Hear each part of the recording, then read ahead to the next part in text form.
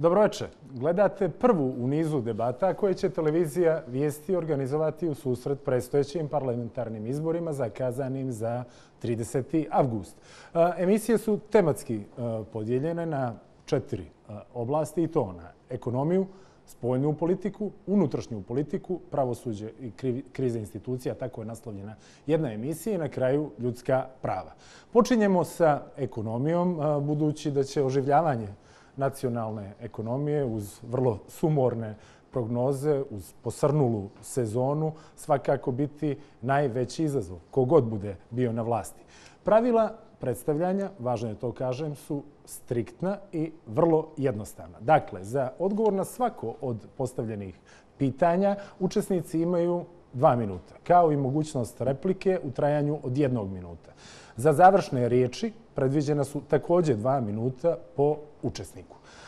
Ja sam ovdje večeras e, isključivo, mada me niste tako navikli, u ulozi moderatora. Tako da ću postavljati pitanja, nema pod pitanja. Ni pored ovako, kao što sam već saopštio, jasno utvrđenih pravila predstavljanja, želim da isteknem, vladajuća trenutno, Demokratska partija socijalista, nije prihvatila učešće u debatama. Predlažem da sada čujemo obrazloženje te partije razloge zbog kojih se nisu večeras pojavili. Režije? Poštovani, zahvaljujemo na vašem pozivu za gostovanje. Obavještavamo vas da Demokratska partija socijalista neće učestvovati u predizbornim debatama koje organizuje televizija Vijesti. Ovakav stav ne proizilazi iz odnosa prema konkretnim formama predstavljanja, niti prema bilo kome pojedinačno, To je stav prema uređivačkoj politici medijskog koncerna Vijesti, koju smatramo neobjektivnom i tendencijoznom u odnosu prema DPS, s računatom da nanese političku štetu našoj partiji. Ne želimo svojim učešćem da dajemo legitimitet takvoj uređivačkoj politici. Također smatramo koncern Vijesti aktivnim političkim subjektom koji otvoreno, crno na bijelo, stoji iza liste Ura Civis – Dakle, ne možemo prihvatiti da budemo gosti medija koji je aktivni učesnik izbornog procesa i uz to nedvosmisleno u kontinuitetu prepoznativo neobjektivan oponent politici DPS-a. Srdačan pozdrav, Miloš Nikolić, pod parol Demokratske partije socijalista.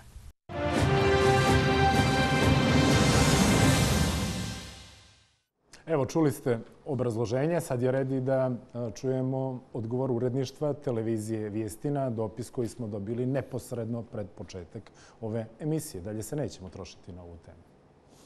Uredništvo televizije Vijesti nije iznenađeno odlukom Demokratske partije socijalista da ne učestvuje u predizbornim debatama, budući da je ova partija i u posljednje četiri godine uglavnom bojkotovala naše najgledanije emisije, naročito kada su obrađivane teme od izuzetnog javnog interesa. Čudi međutim stav DPS-a da njihova odluka nema veze sa konkretnim TV formama i pojedincima, što tumačimo kao svojevrsno priznanje i potvrdu naše profesionalnosti. Zato sa žaljenjem konstatujemo da je pravdanje neučešća optužbama na račun koncerna vijesti i njegovih navodnih veza sa jednom izbornom listom ne uspio da se u vrlo čistim pravilima igre odmjeri snaga argumenata sa političkim konkurentima. Televizija vijesti nije i neće biti medij u koji se dolazi sa dogovorenim pitanjima, kod novinara koji zaobilaze teme od značaja za javnost, podilazeći nečijem partijskom ili ličnom interesu. Plašimo se da upravo zbog toga ni DPS neće još neko vrijeme slati svoje predstavnike u naše emisije. Čuli ste i odgovor e, uredništa televizije Vijesti. Želim da istaknem još i to da su u izborne debate uredno na vrijeme bili pozvani i predstavnici socijaldemokrata. Isprvo su prihvatili naš poziv, ali su odustali nakon što je Demokratska partija socijalista donijela odluku o neučestovanju. Nemam namjeru da komentarišem njihovu odluku, to prepuštam vama, samo vas, kako je to i redu, poznajem sa činjenicama. Vrijeme je da predstavim naše goste. Sa nama je Jovara Brenović. Da odmah riješimo tu dilemu. Vi ste na listi odlučno za Crnu Goru, Milo Đukanović, ali nisam siguran kako da vas eh, predstavim budući da su ključni nosioci te liste odbili učešće u ovoj eh, raspravi. U čije me govorite? Eh, pa logično. Ja sam predstavnik liberalne partije i e, za njih 15-16 godina e, sam predstavnik liberalne partije i govorim ime liberalne partije koja je u koalicijenom odnosu sa eh, Demokratskom partijom socijalista i na ovim izborima po treći put po potpisanom koalicijalnom sporazumu nastupamo zajedno sa eh, Demokratskom partijom socijalista, sa već kako ste vi rekli eh, nazivom liste kako jeste. Opet je potpuno prirodno da Demokratska partija socijalista kao partija koja dominantno učestvuje sa svojim kandidatima za poslanika ima i pravo da se lista tako zove. Liberalna partija je potpuno ravnopravan i ja sam participant ove koalicije. Znači, govorim što je logično ime liberalne partije. Moje je bilo samo da vam dam priliku da razjasnite. Vrlo korisno je što smo to pojasnili građanima Crne Gore. Sa nama je i Milojko Spajić. Vi ste završili ekonometriku kao stipendiste japanske vlade na Osaka univerzitetu. Ovo govorim isključivo jer ste novo lice meni, pretpostavljam i gledalcima. Vi ćete predstavljati koaliciju za budućnost Crne Gore, koju čine Demokratski front, Socialistička narodna partija, Narodni pokret, Prava Crna Gora i nestranačke ličnosti. Dobroveče i dobrodošli. Dobroveče. Samo da naglasim da sam ja nestranačka, da sam nestranačka ličnost i... Pripadate ovoj poslednjoj kategoriji. Tako je, tako Dobro. U ime liste Aleksa Bečić, Miodrag Lekić, Mir je naša nacija, sastavljene od Demokratske Crne Gore, Demosa, partije penzionera, invalida i restitucije, građanskog pokreta Nova Ljevica i Društva za istraživanje politike i političke teorije. Govorit će gospođa Zenke Popović, inače podpredsjednica demokrata. Dobroveče i vama i dobrodošli. Dobroveče i zahvaljujem na pozivu. Nadam se da nisam nikog izostavio. Ne, ne. Dobro. Idemo dalje. Dakle, tu je i Miloš Konatar, koji će predstavljati listu dr. Dritan Abazović, Crno-Bijelo, dr. Srđan Pavićević. Iza te liste stoji građanski pokratura, građanski savez Civis, stranka pravde i pomirenja i nezavisni intelektualci. Dobro večer i vam. Dobro večer, hvala na pozivu. Pozdrav za kolege u studiju i pozdrav za vaše gledalce. I na kraju ispred liste SDP, Jaka Crna Gora. Večeras si sa nama potpredsjednik te partije, gospodin Raško Konjević. Dobro večer. Pozdrav vama, hvala na pozivu i pozdrav vašim gledalcima i pozdrav kolegama u studiju. Pravila su vam svima jasna. Svi imate po dva minuta prava odgovora na pitanja koja ću ja postavljati i minut replike koju možete iskoristiti po svom nahođenju. Dakle, da krenemo. Crna Gora je u COVID recesiju zakoračila sa enormnim javnim dugom od blizu 80%. Sada, pored već postojećih opterećenja, buduća vlast mora naći način da nacionalnu ekonomiju i posrnule djelatnosti održi u životu. Kako ocjenjujete pakete pomoći koje je osmislila ova vlada i koji je vaš konkretan plan oporavka? Ukoliko budete bili u prilici da obavljate vlast.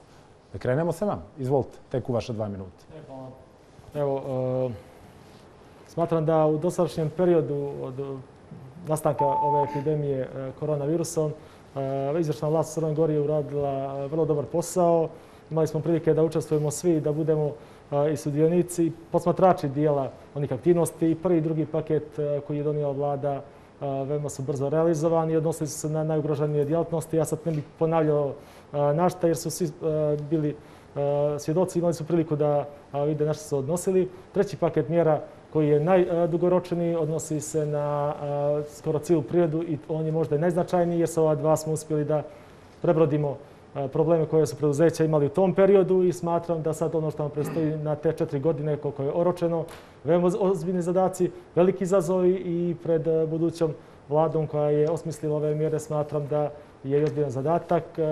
Ono što su do sada uradili na osnovu komunikacije koje imamo mi sa privrednicima cijelo vrijeme, a i posebno u vrijeme e, trajanja izborne kampanje, e, nijesam naišao ni na jednog privrednika u Crnoj Gori iz bilo koje djelatnosti da je bio nezadovoljan onim što mu je od strane vlade dato. E, na kraju krajeva tim se i sačuva jedan dio radnih mjesta, posebno tim djelatnostima koje su bile zabranjene ili su na granici bile poslovanja.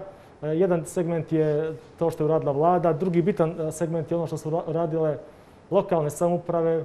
U prvom redu mislim na e, i sam upravo glavnog grada Podrujica kao i najveću u kojoj je skoncentrisao nekih 60-70% prirode Crne Gore e, paketom mjera koje je glavni grad e, donio na način kako je to moguće i što je u okvirima dozvojenog, kad pričamo o zakonima, Crne Gore, glavni grad je uradio dosta da te mjere dodatno pojača sa nivou lokalne samouprave. Mislim da su to uradile i sve druge samouprave na nivou Crne Gore, bez obzira da li su na državnom nivou opozicijoni, pozicione. E, mislim da su svi generalno uradili e, veoma dobar posao.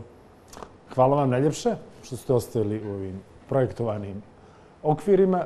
Da čujemo vas. Dakle, koliko pa ste vi zadovoljni ovim paketima da, ja sam... mjera i šta biste mijenjali, šta namjeravate ukoliko dođete na vlast? Izvolite. Ja, gledano, znači, iz naše perspektive, mislimo da je ovo ovaj, samo nastavak u, u kontinuitetu kako je vlada i do sada radila.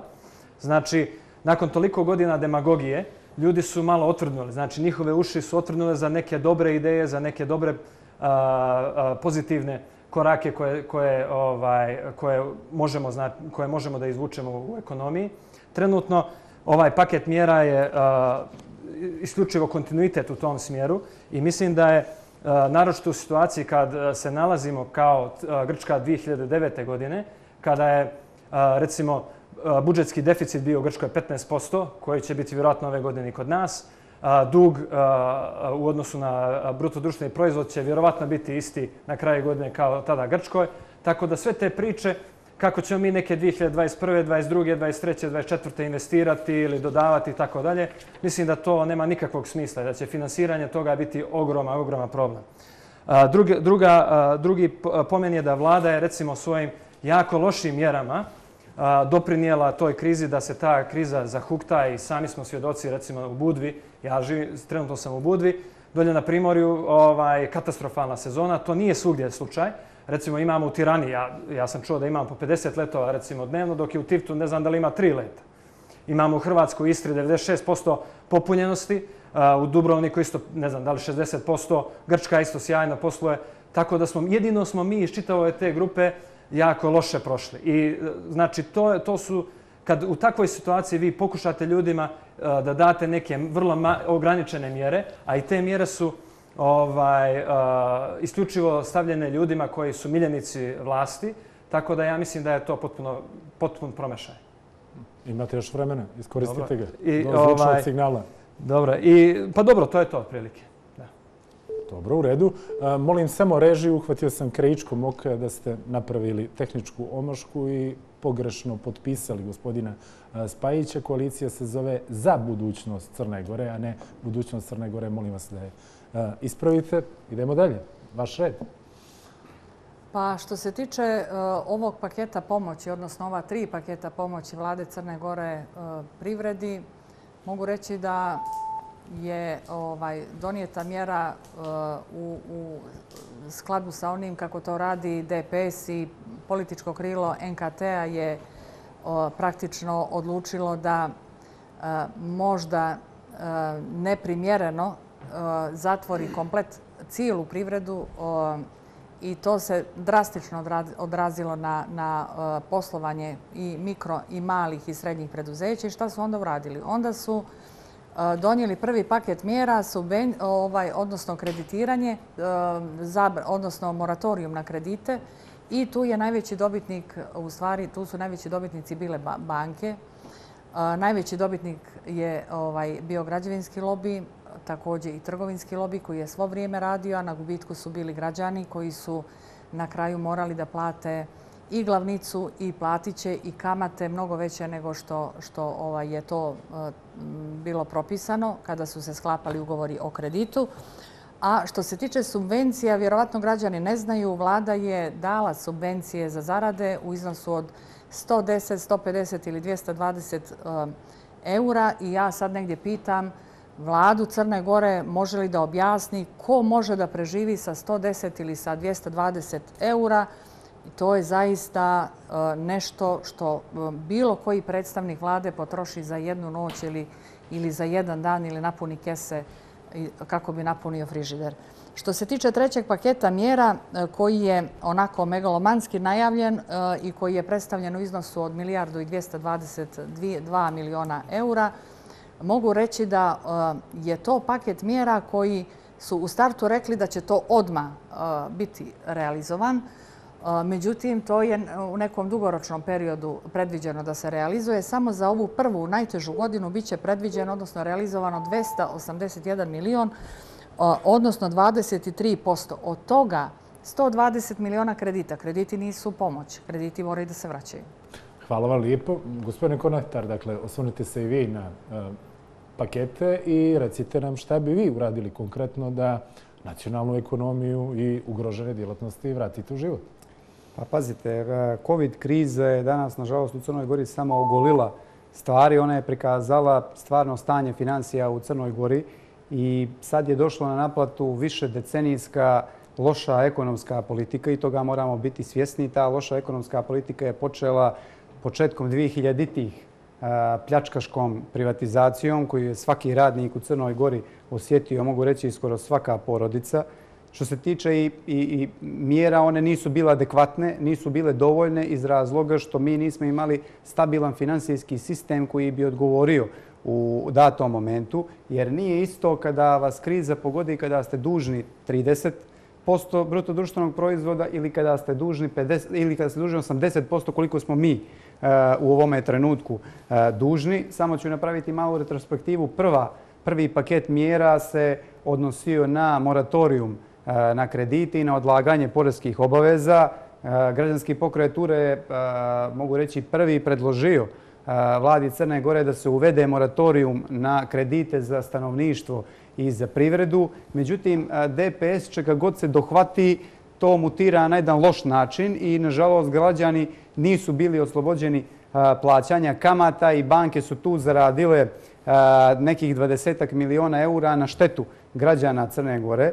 Drugi paket mjera su bile subvencije koje su iznosile od 30 do 40 e, miliona eura i to je bilo, e, da kažem, dobra mjera koja, nažalost, nije bila dovoljna. Te subvencije su morale biti e, veće i sada je najvažnije da se u ovom trenutku u trećem paketu mjera obezbijedi novac za privredu, jer naš sistem, e, u naš sistem se mora upumpati novac i toga u ovome trenutku nema. Dakle, treći paket mjera u ovome trenutku je šarena laža, zbog toga što sve zavisi od e, banaka, od investicionalnog razvojnog fonda, a, a država Crna Gora nije obezbijedila garantni fond koji je ključna stavka da bi se, finan, da bi se sredstva, da bi se gotovina upumpala u sistem. I uh, ono što želim da završim, dakle, uh, naš predlog je da se, da se podhitno formira, da vlada formira garantni fond kako bi u saradnji sa poslovnim bankama, sa investicionalnim razvojnim fondom upup, upumpala gotovinu u sistem, jer je u ovome trenutku najvažnije da se u Crnoj Gori sačuva svako radno mjesto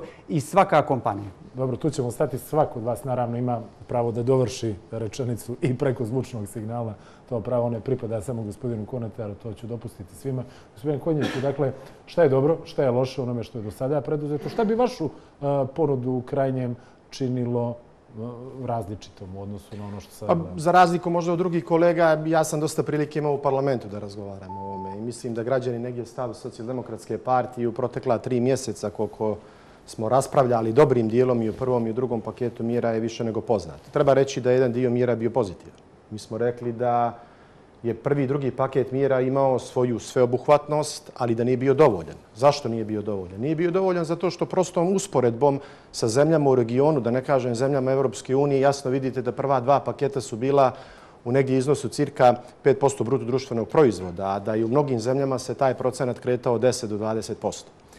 Dakle, vi znate koliko smo govorili o tome da u ovako, u ovako teškim okolnostima svaka mjera treba da bude dobro odmjerena moratorijum koji je donijet, mi smo predlagali zakon koji je DPS odbio da se upravo tokom moratorijuma ne vrši obračun kamate. Dakle, time je 64.000 klijenata fizičkih i pravnih lica platilo bankama, odnosno platit će bankama 20 miliona eura. Također predlagali smo, niko od kolega nije rekao, dakle, e, e, jednu stvar koja mislim da je vrlo važna. Zaboravljamo da je socijalni aspekt ovoga programa u prva dva paketa iznosio svega nešto preko milijon eura. SDP je predlagao upravo dakle, da se kroz rebalans budžeta dodijeli najugroženijim kategorijama. To su dvije kategorije u ovom društvu nezaposleni. Njih je 10.000 ostalo tokom ova tri mjeseca bez posla i penzioneri da se kroz posebnu socijalnu pomoć 80 do 100% minimalne zarade isplati. Prema tome, E, pored stvari koje su bile ok kao subvencioniranje zarada, dakle uznosu 100% minimalne zarade, dakle bilo je dosta stvari koje nijesu predviđene ili smo mi socijaldemokratske partije na drugačiji način e, e, o tome diskutovali na to gledali. Ono što definitivno nije bilo dobro jeste činjenica da se sa mjerama u turizmu kasnilo. Dakle, upozoravali smo više puta kroz skupštinske debate da se ne može turizam pomagati u avgustu. Dakle, Hrvati su to uradili na vrijeme. Ono što mi mislimo da treba uraditi, da završi misao u ovom kontekstu, jeste fokus mikro, mala i srednja preduzeća. Smanjivanje poreza, jer je to jedini način, ozbiljan način da se pomogne privredi i smanjenje opterećenja na rad prema poslodavcima. To je jedini mogući način da pomognete privredi, a da to da korist u budućnosti. Hvala vam lijepo. Dakle, sada je vrijeme za replike. Predviđene su, zamišljene su kao osvrtne izlaganje nekog... Idemo također redom. Idemo također e, redom, ali ako želite da iskoristite te jedne minute da samo produbite vašu... Moramo uspostaviti neki red. Tako, idemo od vas. Izvolite. E, e, da bi možda i dovršio misao, ako poređujemo Crnu Goru, ekonomiju Crne Gore, BDP Crne Gore i ono što su kolege govorile u svojim e, uvodnim izlaganjima, a odnosilo se na turizam. I imali smo poređenje sa nekim zemljama Europe, pri čemu da su to bila zemlje Europske unije. Tu moramo da napravimo veliku razliku i mislim da je svima to nama jasno.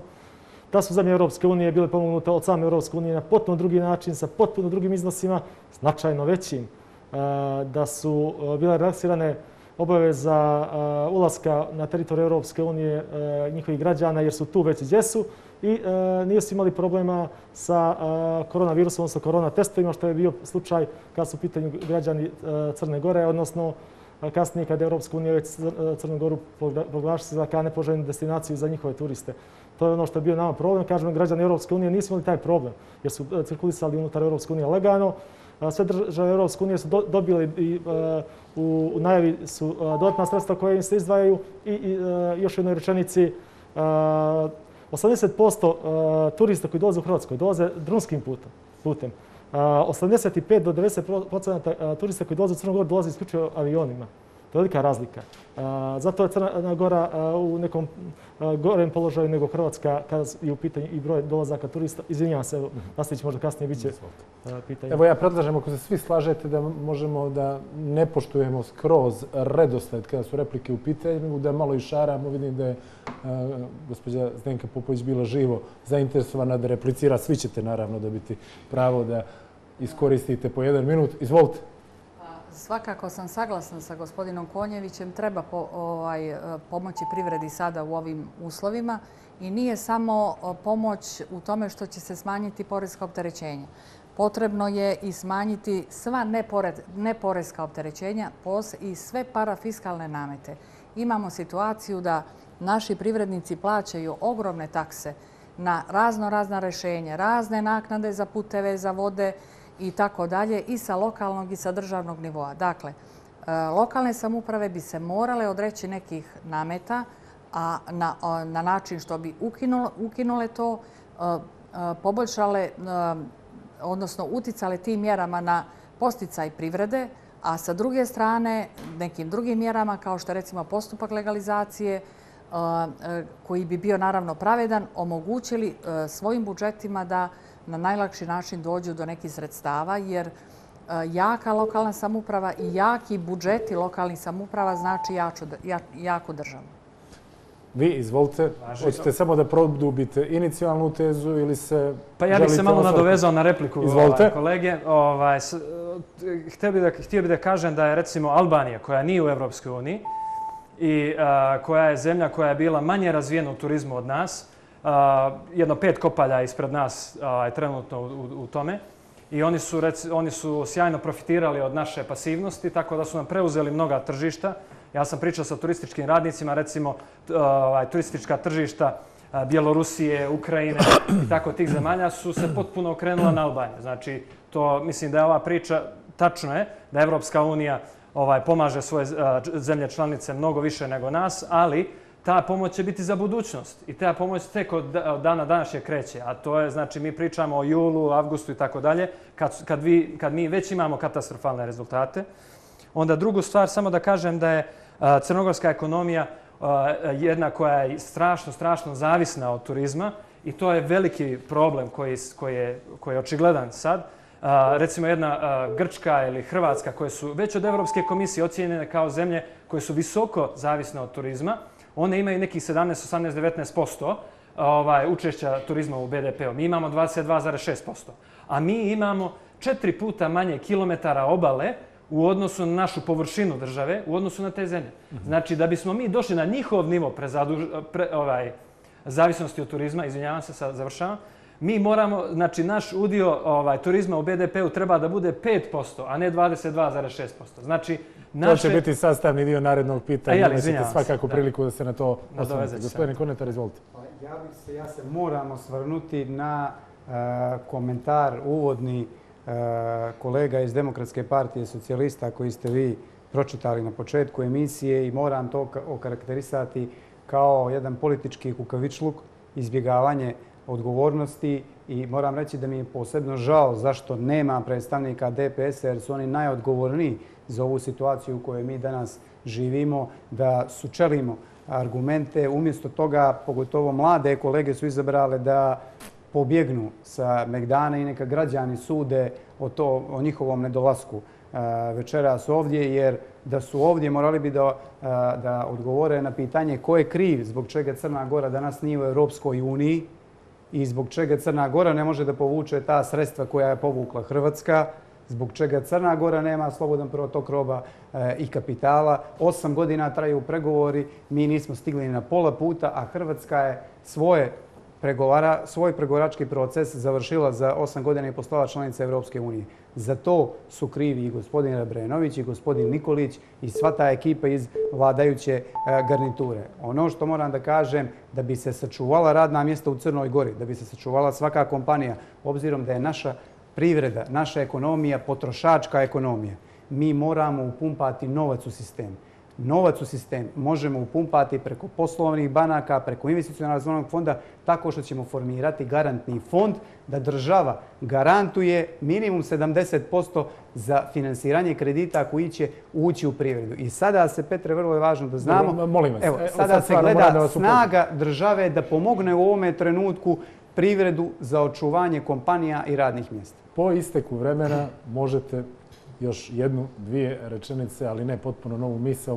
Molim vas da se pridržavamo pravila da budu isti uslovi za sve. Gospodine Konjević, izvolite. Dakle, ja bih nastavio misao. Zaboravio sam samo da kažem da je jedna dobra poruka koja je bila iz Skupštine Crne Gore usvajanje izmjena i dopuna zakona o PDV-u, dakle, gdje smo konačno kroz inicijative koje je SDP imao i na sreću vlada negdje na samom kraju zasjedanja prihvatila da ujednačimo, da više nemamo diskriminaciju da nekoliko hotelskih tajkuna plaća PDV 7%, a svi drugi ugostitelji 21%. Ali ono, e, ove su mjere i za nas. Znate, mi moramo da gledamo naprijed. Ono što mi mislimo da je ključna stvar, slažem se sa koleginicom iz Demokrata vezano za lokalne takse, ali ovdje je ključ ono što su opterećenja poslodavaca. Danas je u Crnoj Gori na svaki isplaćen euro 60 cent, 64 centa isplaćene, e, isplaćuje se državi ovdje država puno uzima. Kad država puno uzima od onoga ko stvara, to je privatni sektor, taj privatni sektor ima manje. Dakle, država mora da relaksira uslovima krize privatni sektor. Zašto? Zato što to rade sve zemlje Evropske unije. Pogledajte, završavam s ovom rečenicom, što je Njemačka uradila kao najbolja evropska ekonomija? Ona je opštu stopu PDV-a smanjila sa 19 na 16% sa jednostavnim obrazloženjem. To je jedini način da ozbiljno pomognete svojoj ekonomiji. Dobro, to bi bilo to. Idemo na sljedeće pitanje i sada ćemo tangirati ovo što ste vi malo čas pomenuli u replici. Dakle, četvrtinu, gotovo četvrtinu crnogorske ekonomije čine turizam i ugostiteljstvo. Ukoliko budete bili u prilici da odlučujete, da li bi radili na održanju takvog omjera ili vjerujete da je neophodna diversifikacija ekonomije i oživljavanje gotovo nepostojeće proizvodnje. Ako je to plan, šta bi bili vaši prvi potezi? Svolite, gospodine Rebrano. Hvala. E, Crna Gora je opredjeljena za e, izgradnju e, Crne Gore kao turističke destinacije, odnosno za izgradnju brenda turističke destinacije Crne Gore. Nadam se u okviru toga e, brenda Kišobrana e, Crne Gore kao e, brend države. Samim tim što se polazi od toga da je učešće turizma u e, ukupnom BDP-u Crne Gore nekim 22, 23, 24, nebitno e, koliko procenata, znači da je to strateška grana Crne Gore i da značajno treba ulagati u turizam Crne Gore. E, ulaganje turizam Crne Gore moramo ulagati i u ruralni turizam, moramo ulagati i u neku, neki vid niskokarbonskog turizma, odnosno niskokarbonske ekonomije, kao modele savremenijeg paljenja samo u oblasti turizma, e, odnosno prirode. Ako ulažemo u sve ovo, ulagat ćemo dodatno u poljoprivredu, ulagat ćemo e, u sve e, grane koje su kompatibilne turizmu. Na taj način pomoći ćemo i selskim domaćistima da ožive proizvodnju, da povećaju prihode, da na taj način da ih zadržimo na selu. Ono što je bila karakteristika Crne Gore, pomenuli smo da 11 procenata teritorije Crne Gore je u stvari teritorija koja je na moru, ostatak države je kontinentalni. 11 procenata teritorije na moru ostvaruje maltene skoro cijel udio crnogorskog prihoda u turizmu, što malo nije, realno nije u redu. Zato je veoma opravdano što vlada je krenula sa paketom mjera na razvoj e, Sjevera Crne Gore i da ne budem ja noćas porparo vlade Crne Gore, apsolutno e, ne može oni biti u liberalnoj partiji e, apsolutno zadovoljni svakim pokretom i svakim potezom koji se radi, ali oživljavanje Sjevera Crne Gore kroz izgradnju hotela, kroz izgradnju putne infrastrukture svakako će doprinijeti razvoju turizma Crne Gore, doprinijeti da i to učeće u turizmu, odnosno u broju gostiju kojih je na Sjeveru Crne Gore 2,7%, u ukupnom udjelu gostiju se poveća, samim tim da se povećaju ti prihodi od turizma i da Crna Gora zaista bude realno održiva kad je u pitanju strateški doprinos razvoju turizma kao strateške grane. Gospodin Spajić, evo prilike da ne kažete koje su vaše zamjerke u vezi ovog postojećeg modela i koji su vaši planovi? Pa ja se ne slažem sa kolegom koji je rekao da, da, je, ovaj, da je turizam naša jedina strateška grana. Ja mislim da je ovaj, jako bitno da se diversifikuje i očigledno posle ovako katastrofalne sezone i ovakvog debakla znači, na, na polju turizma, mi moramo da se, jednostavno smo prinuđeni da se diversifikujemo. I ovaj, naročito zato što je turizam jedna niskoprofitna industrija, sektor ovaj, privrede, koji generalno ne, ne pravi ni velike plate, ne pravi ni velike profite, ne pravi ni veliku dodatnu vrijednost za privredu. Znači, mi smo Bogom da, imamo tu situaciju da smo Bogom dani sa lijepom prirodom i tako dalje, ali ja mislim da su ljudi mnogo veći resurs nego ta priroda. Nego ta priroda. I ja, mi bismo željeli da se fokusiramo a, a, jednostavno na visoke tehnologije kao primarnu, to je u principu jedna ovaj, visokoprofitna ovaj, industrija. Samo ću pomenuti ovaj, primjer Estonije koja e, sa 16.000 ljudi zaposlenih, recimo, u pro, koji su programeri koji rade u IT industriji, oni prave neki e, 3,6 milijardi eura, što je otprilike GDP Crne Gore, čitave Crne Gore. 16.000 ljudi pravi što 600.000 ljudi u Crnoj Gori radi. Znači, naš cilj je da imamo 1000 novih uh, ovaj, ljudi zaposlenih u IT industriji uh, i mi imamo sjajnih ljudi već. Znači, naš PMF fakultet, ljudi, bukvalno izvozimo ta, te ljude. Umjesto da izvozimo znanje, mi izvozimo te ljude. Ovaj, uh, mi, mi, mi se zalažemo za jednu uh, potpunu digitalizaciju javne uprave. Sa, sa, tom, sa tim projektom digitalizacije javne uprave mi ćemo ovaj, zaposliti ovaj, domaći radni, uh, do, domaću radnu snagu, obučiti ih, dove, čak i ljudi koji dođu sa strane, znači da rade u tim projektima, oni će morati da zaposle naše ljude, da im daju iskustvo koje će im jako bitni kasnije biti uh, ovaj vrlo bitno kasnije kad budu pokretali svoj biznis, kad budu htjeli da privređuju u Crnoj Gori. Hvala vam lijepo.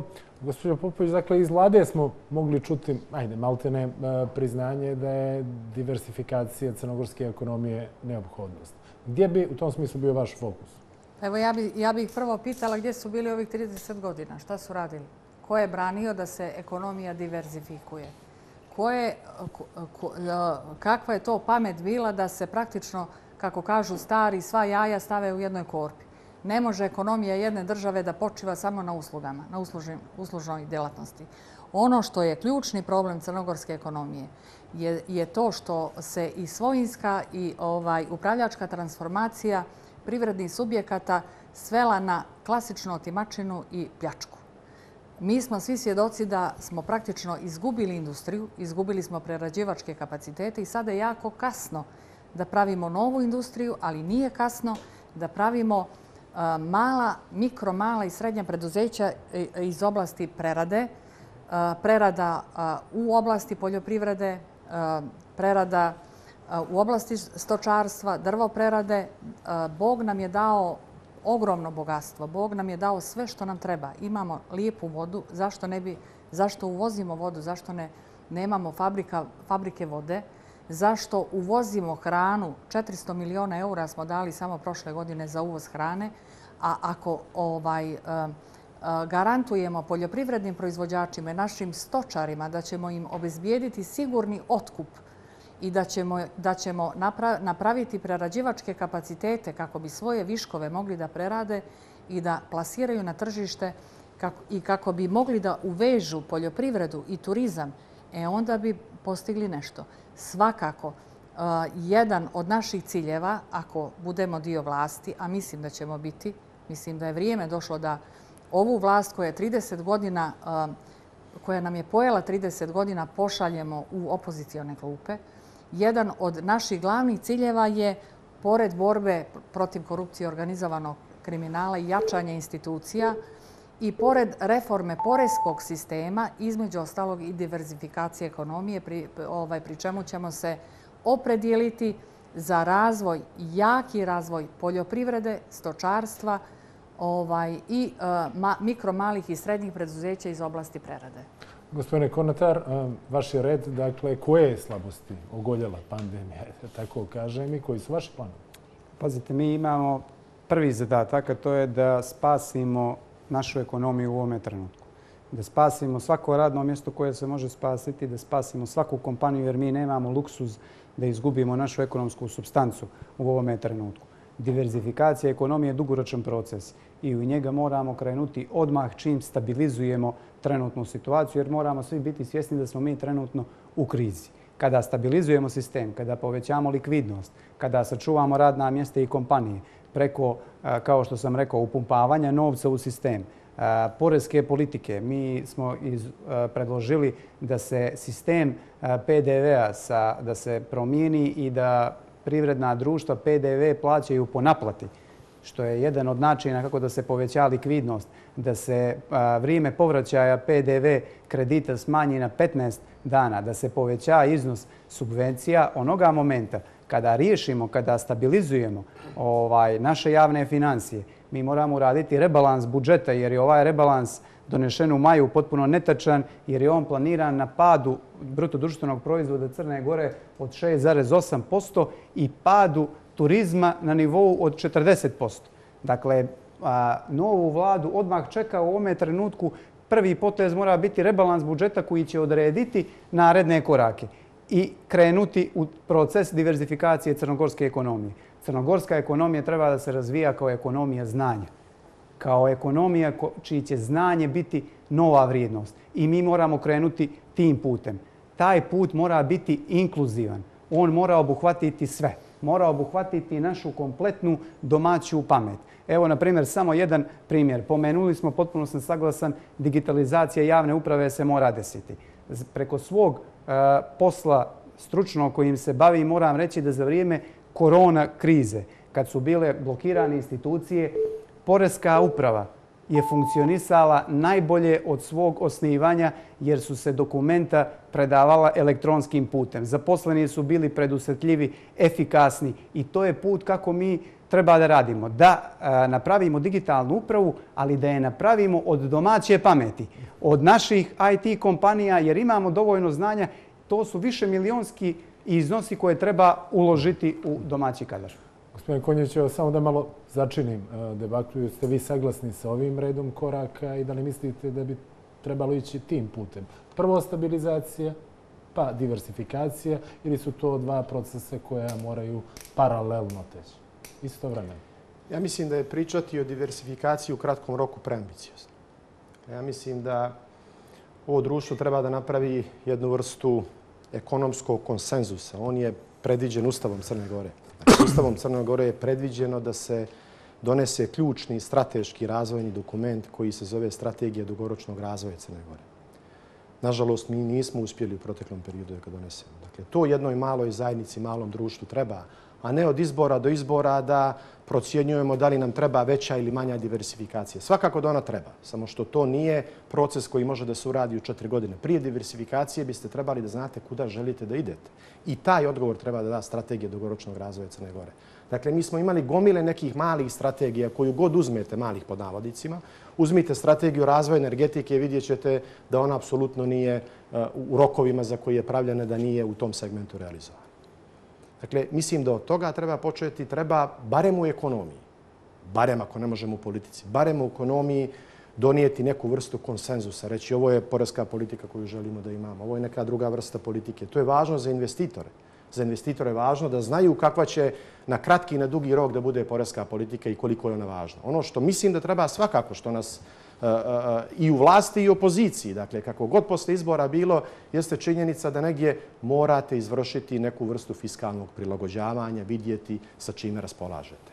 Ono što mislim da je u naredne četiri godine ključno, jeste da pored ovoga o čemu pričamo, jeste da Crna Gora mora da shvati da, da je dio Evropske unije i da i treba da uspije u naredne četiri godine da bude dio Evropske unije, da nas bio i kroz ovu krizu bilo mnogo lakše.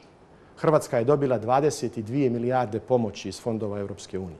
Da je Crna Gora danas članica Europske unije, dobila bi 3 milijarde pomoći od kojih bi milijarda bila bespovratna.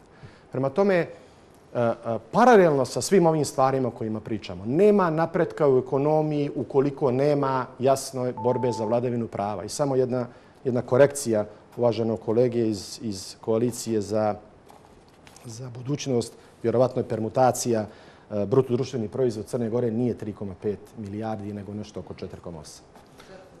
Dobro, e, vrijeme, vrijeme za replike. Svi ćete naravno imati pravo da iskoristite po jedan minut, ali evo, i kao moderatoru da dam prednost onome ko će imati eventualno kritički osvrt na izlaganje nekog od kolega. To je jedina alatka koju imam večeras na raspolaganju da malo oživim ovu emisiju. Jel ima neko takav. Pa evo ja bih mogla da repliciram gospodinu Ajde, vi ćete naravno odmah. Slažete li se da je ovako možda malo dinamičnije? On je reprezent vlasti, inače, Ajde, iako ovaj... E, e, Teče ovaj, vaš minut da ne gubimo vrijeme, uh, onda pa, kolega evo, ja ću, Ja ću, gospodine Rabrenoviću, da vam pročitam samo, samo jedan kratki citat iz ekspozea gospodina Markovića prilikom ovaj preuzimanja o, vlasti, da, formiranja vlade 2016. godine. Rekao je, Povećat će se kvalitet života građana Crne Gore kroz definisanje formule za ostvarivanje dinamičnog, održivog i inkluzivnog ekonomskog rasta. Ja vas sad pitam, da li vi znate da li je gospodin Marković osmislio neku formulu? Da li je on našao način kako, na koji način će, će, ćemo imati inkluzivni ekonomski rast? I da li uopšte zna gospodin Marković šta, i da li vi znate šta je to inkluzivni ekonomski rast? Ogroman problem crnogorske ekonomije je to što mi imamo bruto društveni proizvod koji je u iznosu od 4 milijarde i 820 miliona, dug, javni dug koji nam je već na 80% BDP-a i što je najgore, mi imamo javni dug zaduženja građana per capita, samo po osnovu javnog duga od 5.970 eura. Dakle, svaki građanin Crne Gore, pa i ona beba koja se danas rodila, je ovog momenta dužna 5.970 eura samo po osnovu javnog duga.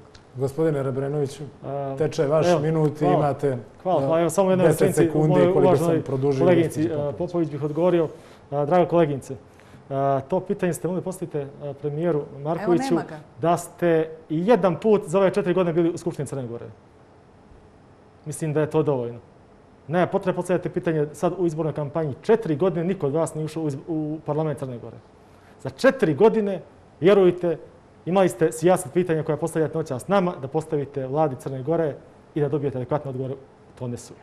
Znači sad je izlično postavljati pitanje, pa sve da mi ovdje bilo koji predsjednik uh, Demokratske partije socijalista, a nešto je predsjednik liberalne partije koji baš nema veze uh, sa odgovorom na to pitanje. Ja se izvinjavam. Ne, ne, ne, ne, ne, e, toga nema. Toga nema, izvolite. I nastavku uvaženom kolegi, dao jedno pojašnjenje. Ja nijesam rekao da je jedina strateška grana u Crnoj Gori turizam. Ne. Rekao sam da bi turizam zaista bio strateška grana za razvoj Crne Gore. Neophodno je da uz turizam razvijamo i te neke komparativne odnosno oblasti ili prijedne djelatnosti koje su kompatibilne sa turizmom. I pričajući o ruralnom turizmu, i o jačanju poljoprivrede, i o svemu. I samo tri riječi.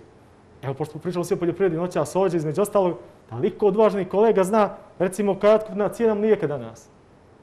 I, ili porasla cijena mlijeka i otkup ili je se smanjio. Ili imamo li podataka, da li se Crne Sada im damo priliku da prokomentarišu. Izvolite, gospodine Spajiću, teče vaš minut.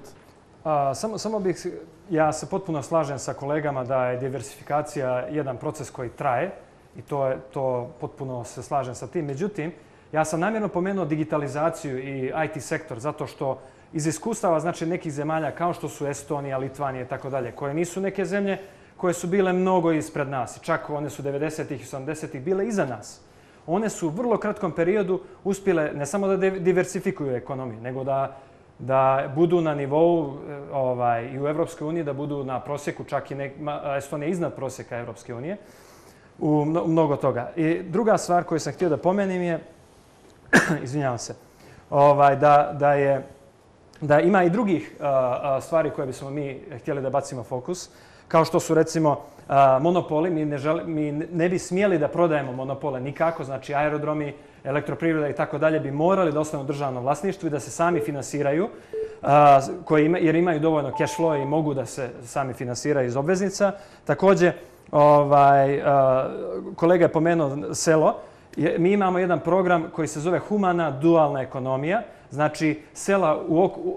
Završavam, izvinjavam se. Zvolite. E, ovaj, humana dualna ekonomija znači da sela u, u okolini gradova, u 10 do 20 km od gradova, tu ljudi mogu da imaju manja privredna, ovaj, poljoprivredna gazdinstva, recimo da imaju 20 koza, ali u isto vrijeme mogu i da rade u tom gradu.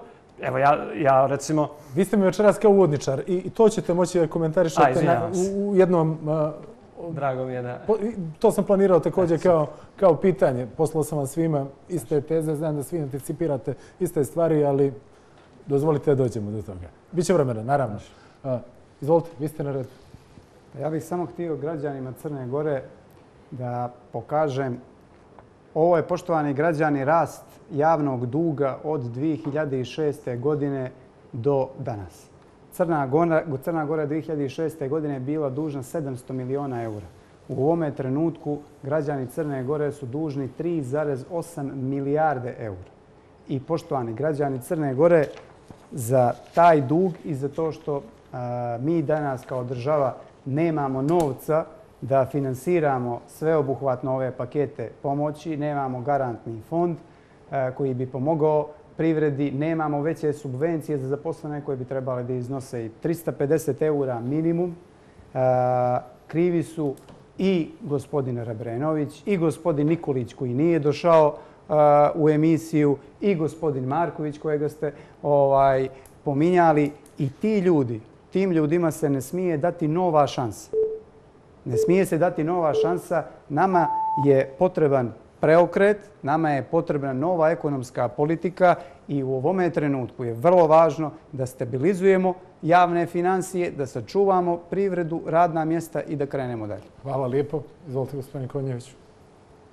Pa evo, ja ću se svrnuti još jednom na... Mislim, moramo da razumijemo da, kad kažem moramo, razumijemo svi naravno, nego prosto želim to da istaknem, da nas čeka jedna perspektiva koja nije baš tako sjajna. Dakle, ali moramo posložiti neke stvari u sobstvenoj kući. Znate, nama je 25% bruto društvenog proizvoda siva ekonomija. Dakle, kada to pretvorite u novac, vidite to stotine i stotine miliona eura. Dakle, ne možete imati luksus 25% bruto društvenog proizvoda u sivoj ekonomiji, a smatrati da možete da država ima sredstava da upumpa, da upumpa u privredu. Da biste upumpavali sredstva u privredu, morate imati projekte. Dakle, to su prosto stvari koje su negdje e, e, e, algoritam kako neke stvari možemo jedino da, da radimo i naravno saglasan sa tim da trebamo postaviti u ekonomiju jednu, jednu praksu, jedno pravilo postoji, samo kod nas traja praksa. Dakle, mora porez da plaća svako. Ako porez u Crnoj Gori bude plaćao svako, ako relaksiramo privrednike poreza u jednom smislu, proširit ćemo porezku bazu, jedino na taj način možemo da imamo više novca u državnoj kasi. Dakle, neće nam banke pomagati kroz bilo kakve fondove, jer banke zato žele da zarađuju novac. Država treba više novca da prikupi da bi ga imala. Hvala. Završili smo i drugi krug replika, pošto večeras govorimo o ekonomiji, o novcu, a ni ova kuća ne živi od vazduha. Vrijeme za jedan blok reklama.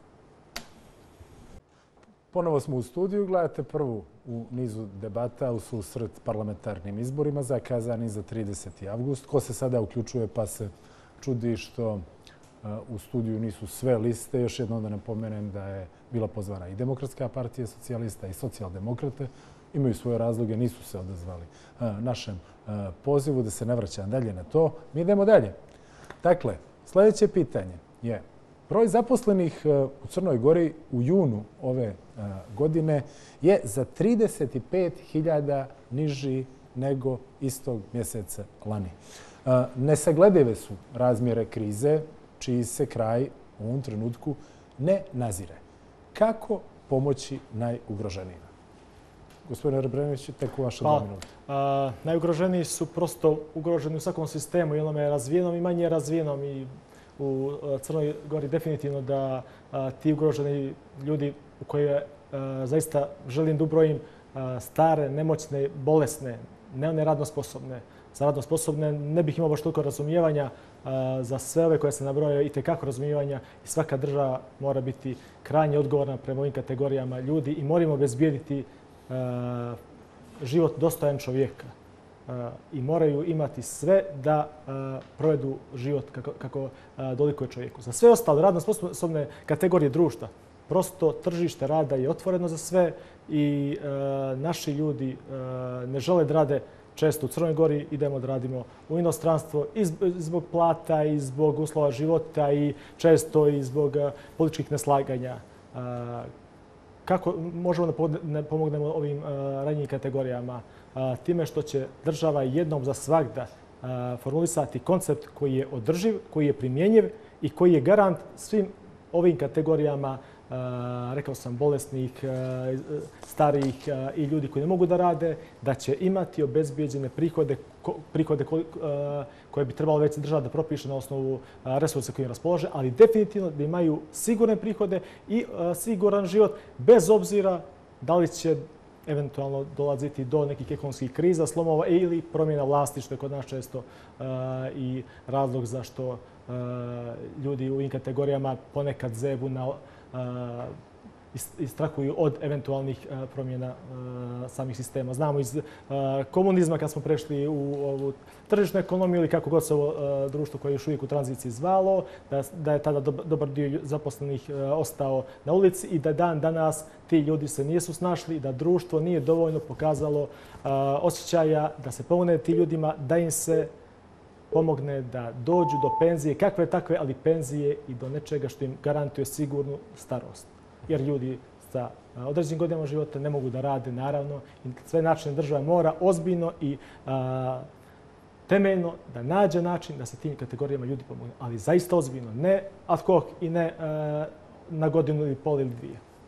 Hvala vam najviše, gospodine Spajiću. Kriza bukti, kako pomoći najugroženima? Pa ja mislim da je ja se slažem sa kolegom, znači što se tiče socijalnih načela, da je to ovaj, da, da ćemo se vjerojatno svi složiti u stvari u tom pogledu, ali jedan problem tu je znači kako isfinansirati sve to. I to je u stvari gdje ovaj, lako je raspodijeliti, eh, mnogo je lakše u stvari raspodijeliti, nije lako ponekad se, ponekad se ta, ovaj, zađene se ovaj, na lošim mjestima ta raspodjela, ali bih rekao da je mnogo lakše raspodijeliti kad, kad ima. I znači mnogo je bitno tu ekonomiju vratiti na, na, na pravi kolosijek. Eh, znači, mi imamo puno ljudi koji su bili zaposleni u industriji, ovaj, u Nikšiću, u Podgorici, u Pljevljima, Beranama i tako dalje, koji, sad, koji su sad socijalni slučajevi. Potpuno nepotrebno socijalni slučajevi. Znači, to su ljudi koji su radno sposobni, koji imaju sjajan know-how znači, za, za proizvodnju jako kompleksnih stvari, znači za preradu i tako dalje. I mi te ljude uopšte ne koristimo. E, to, je, to je po meni katastrofa i to je najgori dio ovaj trenutnog ekonomskog programa vlade. A, šta je, šta recimo, šta bi dobro bilo da znači vrlo je bitno da pomenuo sam upravo ste ovaj dualnu ekonomiju, humanu dualnu ekonomiju sela. ovaj, kako da zadržimo te ljude na selima. Znači, ne isključivo praviti velike komunističke projekte ovaj, koji bi bili jako teško drživi. Međutim, ta mala gazdinstva da se održe, država mora znači da da velike subvencije na, te, na tu poljoprivredu, država mora da pomogne i po plasmanu tih proizvoda. Znači, država mora da garantuje otkup svih tih ovaj, viškova koji ti ljudi proizvode i naravno sad, šta uraditi sad, sa tim otkupom. Znači, država mora biti jako pametna mora da ima jak javni sektor koji će da, da realizuje sva ta ovaj, obećanja koje mi dajemo. Uh, dalje, mislim da je vrlo bitno ovaj, da se pomene isto pomorski transport, koji je nekad bio ovaj, jedan od perjanica ovaj, Crne Gore i, i ovaj, Primorja. On je potpuno uništen i mi sad imamo te ljude koji su ili socijalni slučajevi ili rade u inostranstvu. Znači, e, mi moramo da vratimo ovaj, e, tradiciju koja traje stotinama godina, ovaj, u Boki, u Kotoru, u Baru i tako dalje, e, da vratimo te ljude na naše brodove. To je jako bitno. Znači, revitalizacija industrije ekonomije je po meni najbitniji. Gospođo Popović, pomenuo sam da je u junu broj zaposlenih bio za 35.000 niži nego lani. Osnovan je strah, a već imamo i neke projekcije da će već na kraju jula ta situacija kad dobijemo podatke, je li biti još e, dramatičnija, da ne govorimo o jeseni koja je vrlo blizu. Kakav je vaš plan za pomoć? Pa evo, prije svega da kažem da smo evo danas imali prilike da pročitamo ovaj, neke dijelove i studije e, fondacije Friedrich Ebert, gdje je rečeno da je čak 39 od 39.000 mladih bez posla, a da 92.000 mladih želi, želi da ode iz ove države. Ja se samo pitam na što će nam država ličiti za neki 10 ili, ili ovaj 20 godina. I o, kada kažete da je 35.000 ljudi ostalo bez posla već sada, ja se bojim da ćemo već u oktobru imati duplo veći broj nezaposlenih zbog toga što je potpuno jasno da je došlo do kraha u turizmu i u ugostiteljstvu. Tako da su to trenutno najugroženije oblasti i tu je potrebna snaga države i tu je potrebna i volja i želja vlade, nove vlade koja će biti sastavljena od ovih ljudi koje vidite ovdje ovaj, koji su trenutno opozicija, bit će vlast. Naravno, naći ćemo načina da zaposlimo ljude posebno na sjeveru Crne Gore i na selu. Ja sam, nažalost, imala prilike ova dva dana da obiđem cijeli sjever Crne Gore i da vidim koliko ljudi teško žive. I ovaj podatak koji daje Zavod za zapošljavanje je potpuno netačan. Ovo je netačan iz razloga što smo mi jedina država u regionu, ja mislim i u Evropi, koja računa stopu zaposlenosti, odnosno nezaposlenosti na osnovu registrovanog broja zaposlenih, odnosno nezaposlenih. I računa je jednom nedeljno. Znači, e, ja se samo pitam kako ljudi koji to računaju mogu da znaju od ponedeljka do petka koliko je ljudi ostalo bez posla ili koliko se ljudi zaposlilo i da taj podatak daju u petak, u petak popodne. Znači, mnogo je više nezaposlenih nezaposlenih ljudi i ono što je činjenica je da je promijenjena metodologija tako da e, recimo sada zaposleni se e, tretiraju i svi oni koji su radno angažovani pa i stranci koji dolaze recimo ljeti e, da rade u uslužnim djelatnostima ili u turizmu, što svakako ne daje realnu pravnu sliku toga kakvo je stanje u oblasti zapošljavanja. Dakle, da, da li vi mislite da je zvanična statistika da daje e, realnu sliku stanja i kako vi planirate da pomognete najugroženim kategorijama? Pa pazite, Petre, vi ste rekli da je E, pomenuli ste broj nezaposlenih, odnosno zaposlenih radnika u junu 2020. godine. Citirao sam ono što nam je zvanično saopšteno. E, građani, želio bih da kažem građanima Crne Gore, da je broj zaposlenih u junu 2020. godine manji nego u junu 2013. godine. Dakle, sedam godina besomučnog zaduživanja. Besomučnog zaduživanja i da kažem poistovećivanja Crne Gore sa Tigrom na Mediteranu, mi na današnji dan imamo manje zaposlenih nego što smo imali u junu 2013. godine. Vi ste dobro rekli, u ovome trenutku u Crnoj Gori bukti kriza i država u ovome trenutku nema novca. To su pokazali ovi paketi nedovoljni ovaj, pomoći koji su bili. Kriza 2009. godine Svetska nas je naučila da se to rešava na dva načina. Štampanjem novca, što su radile velike ekonomije, Amerika, Evropa, kasnije i tako dalje, ili zaduživanjem. Mi nemamo mogućnost da štampamo novac. Dakle, nama ostaje mogućnost jedina da se dodatno zadužimo. Nije isto da se zemlja dodatno zaduži koja je 30% e, dužna u ovome trenutku brutočnog proizvoda ili kao Crna Gora 80%. Pomenuli ste, da kažem, COVID, da, da napravi malo opoređenje. Ovo mi je kao e, ne podnosi svako ko dobije recimo virus COVID, neće na isti način podnijeti zdrava mlada osoba, ovaj, što se kaže, možda će ga i stojeći ovaj, preležati. Ko je najugroženiji? Hronični bolesnici i mi, naša ekonomija u ovome trenutku hronični e, bolesnik. Mi u ovome trenutku plaćamo cijenu više decenijske loše ekonomske politike i ja bih sad rekao, mi svakog 21. u mjesecu moramo imati novca za isplatu penzija i socijalnih davanja. I oko toga nikad ne smije da bude znak pitanja. U suprotnom, sistem bi doživio debakl. Kako ćemo taj novac obezbijediti? Rekao sam već, mi se moramo zadužiti. Problem je što ćemo cijenu toga platiti svi mi, jer ćemo se zadužiti po puno većim kamatama, skuplje ćemo platiti to zaduživanje nego što bi platili da smo imali normalnu i odgovornu ekonomsku politiku do sada. Kako bi vi osigurali pomoć najugroženijima? Vjerujete li obećanjima koja dolaze ovih dana iz vlade da neće biti e, rezanje plata u javnom državnom sektoru? Imali novca? Evo, da, da vam ne namjećem nijednu tezu dalje od onoga što sam svima znači, postavio ja bih, pitanje. Ja bih prije toga negdje ukazao i bio direktan na vaše pitanje dvije ključne ugrožene kategorije u crnogorskom društvu su penzioneri i nezaposleni. Vi danas od 120, 100, oko 120.000 penzionera, dakle njih preko 11.000 prima minimalnu penziju.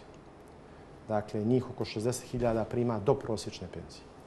Ono što mi u socijaldemokratskoj partiji možemo sa zadovoljstvom da istaknemo da ta naša borba koja je trajala 12 mjeseci da konačno imamo taj zakon u Skupštini je i taj naš javni pritisak. Jedan odličan posao, rekao bih, sindikata u tom segmentu je rodio plodom i upravo od juče penzioneri imaju, će imati i veću minimalnu penziju, a svi budući penzioneri će imati e, jedan, rekao bih da kažem, vrlo, značajan, vrlo značajno poboljšanje jer se eliminiše jedna četvrtina.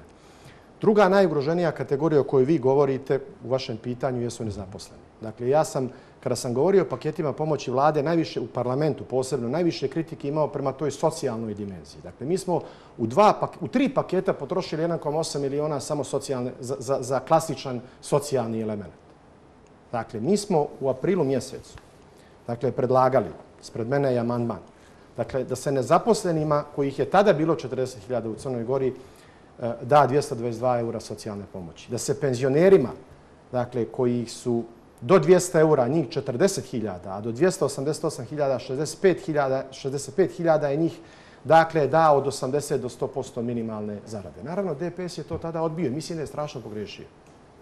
Jer to je najmanji trošak koji smo mogli da imamo. To vam je 0,96% primitaka za budžet u 2020. godini, 0,77% budžeta. I mi, da ne bismo govorili na pamet, mi smo predložili i odakle to može da se uradi. Dakle, to je u budžetu moglo da se uradi sa pozicija rashodi za materijal i rashodi za usluge. Dakle, jer je, na primjer, samo za konsultantske usluge 51 milion eura, eura bio u budžetu. E, završit ću. Mi e, e, kao rezultat vlade u protekle četiri godine imamo 4% realno manje plate i 4% realno manje penzije. Dakle, Crnoj Gori je potrebno rad, red i posebno fiskalna disciplina. Ne možete trošiti, jednostavno je pravilo, više nego što država, i tu se slažem sa, sa mladim kolegom koji je rekao, dakle, lako je dijeliti ako možete da prihodujete. Mi možemo prihodovati jedino ako se suočimo s problemom sive ekonomije. Hvala vam lijepo. Da li se neko kandiduje da svojom uh, replikom otvori raspravu? Možete vi? Ne, ne možete vi. Svaki put vama sam već jednom dao pravo, iskoristili ste ga. U redu iskoristite, zloupotrebite to što Idemo na ravnopravnost polova. Izvolite. da, i to ste upravi. Uh, prosto ne kao direktno repliku, nego možda bih više to kao pojašnjenje kolegi uh, i komentar koji je pominjao neke brojeve kada su pitanje zaduženo Crne Gore i to ponavljate drugi treći put. Ne sporim zaduženo Crne Gore kao zaduženo svake države u razvoju. Ali moram reći nešto što sam čitajući literaturu eh, ovih dana primijetio da eh, u Americi svaki američki građan je zadužen u ovom trenutku 70.000 dolara. Svako da američko domaćinstvo zaduženo nekih otprilike oko 170.000 dolara. A pričamo o Americi kao najrazvijenijoj eh, svjetskoj ekonomiji Znači da, i da ne sporimo onu drugu priču o BDP u Americi i zaduženosti Amerike na nivou prosto čitave američke ekonomije. Crna Gora koja je država koja se razvije mora ići u, u zaduživanje. Ili ćemo to ili ćemo raspravljati resurse. Resursi su, ograničeni. Ako rasprodamo to što imamo, ostaćemo bez ičega. Znači, zaduživanje kao razlog za ulaganje nije nikakav problem. Mm -hmm i mislim da je prosto i ljekovito i za građane i za sve da shvate da dodatno zaduženje, ukoliko imamo način da iz projekata koje finansiramo to vratimo, nije pogodno za državu za građane. Gospodin Konatar, da. osvrnuo se gospodin Rebrenović na vaše izlaganje, tako da sad vama prepuštam minutu, onda ću se naravno vratiti na vas i na pa, vas. Ovaj, ja ne bih bio toliko hrabar kao gospodin Rebrenović da poredim ekonomiju Crne Gore sa Amerikom, jer ipak tu ima još dosta ekonomskih parametara koji utiču na to kako, da, kako bi zaključili ekonomsku poziciju. Ono što bih vam rekao, gospodine Brajanoviću, brojka vas demantuje. Mi se ne zadužujemo za finansiranje razvoja. Mi se zadužujemo za finansiranje tekuće potrošnje. A znate li zašto? Zato što je javni dug, javni dug u odnosu na 2000 se u odnosu na 2006. godinu porastao 400%. 400%. A bruto društveni proizvod je porastao 100%. Dakle, mi smo javni dug uvećali sedam puta, a bruto društveni proizvod se povećao za duplo. Znači, mi problem je upravo u tome. Ne bi bio problem da smo mi se zaduživali da bi finansirali svoj rast. Nažalost, mi se nismo zaduživali da bi finansirali svoj rast i to je problem. Dakle, Upravo zbog toga, zbog takvog zaduživanja, mi da nas nemamo novca, a opet kažem, novac za penzionere, za socijalna davanja, se svakog 21. u mjesecu mora obezbijediti. Država to mora obezbijediti s tim što ćemo mi to u ovom trenutku plaćati skuplje zbog neodgovornih ljudi na vlast. Gospodine Spajiću, vaših minuta. Važi. Ovaj, ja bih uh, nastavio na svoje obrazlaganje. Ovaj, definicija kolonije, to moramo biti svjesni, je Eh, izvoz sirovina. I Crna Gora je trenutno u toj, u toj situaciji. Znači, šta mi izvozimo trenutno? Mi izvozimo ljude, izvozimo boksit, znači kao što je bilo u 19. vijeku iz Mojkovca na konjima smo izvozili ovaj boksit, trenutno tako mi izvozimo uh, nimalo prerade, nikakve, znači samu tu rudu izvozimo. Eh, tako, također izvozimo iz pljevajskih i rožajskih krajeva, izvozimo oblovinu, što je ovaj, Čak ja sam čuo da je to po zakonu zabranjeno, međutim to se dešava, to svi mogu da vide na našim putevima i tako dalje. Znači, tu, te sirovine kad se izvezu, naravno da vi ne možete zaposliti ljude i naravno šta će da se desi, ljudi će postati socijalni slučaj. Znači, to je logičan, logičan sled okolnosti. Tako da, e, mi se zalažemo za to da, da se e, usvoje izvozne tarife na ovaj ne da se zabrani izvoz sirovina, nego se usvoje izvozne tarife i ako se vama isplati da izvozite po tim uslovima, slobodno izvozite, ali da zaposlite, znači da ljudi mogu da se zaposle u preradi, da imaju dobre plate i to je znači osnova ljudskog dostojanstva da radi i da može da privređuje da sam sebi ovaj pravi uh, izvolite. Ne, ne, ne, samo dovršite. E, ovaj, da sam sebi, da sam zarađuje za sebe i za svoju familiju. Ja mislim da je to jako. Izvolite. Evo ja ću početi ovaj, sa jednom konstatacijom, e, baš zbog toga što se gospodin Marković iz Budve negdje obratio građanima i iščuđavao se ovaj, kako su se tamo partijski zaposlili ljudi. Samo da ga podsjetim i građane, naravno, na činjenicu da je od 2006. do 2019. godine broj zaposlenih u državnoj upravi porastao sa 10,3 hiljade na 21,8 hiljada. Dakle, to su sve partijski vojnici koji primaju platu ovaj, sa grbače ovog naroda, koji primaju platu, koji primaju platu, naravno, koji primaju platu ovaj, od ovih građana. Što se tiče novca, da li imamo novca za, za ovu ranjivu kategoriju? Novca u budžetu ima.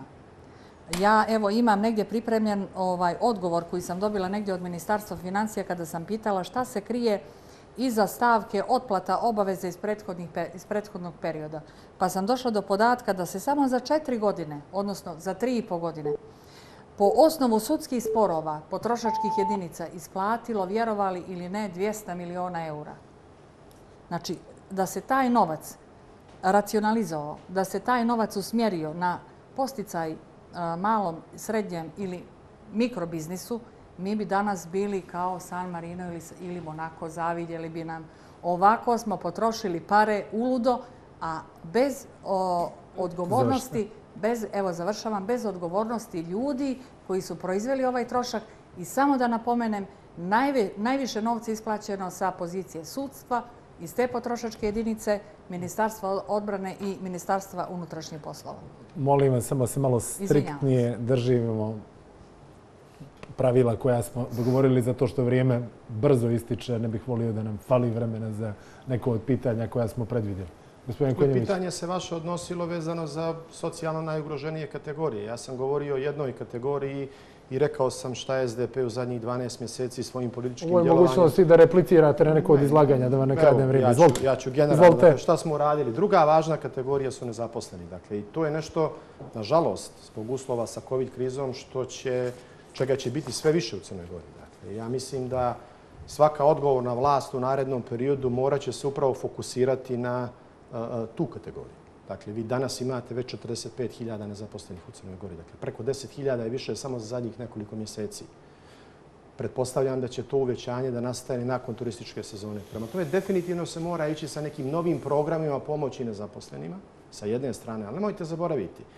Kad kažemo država socijalne pravde, ne mislimo na državu koja će da finansira sve.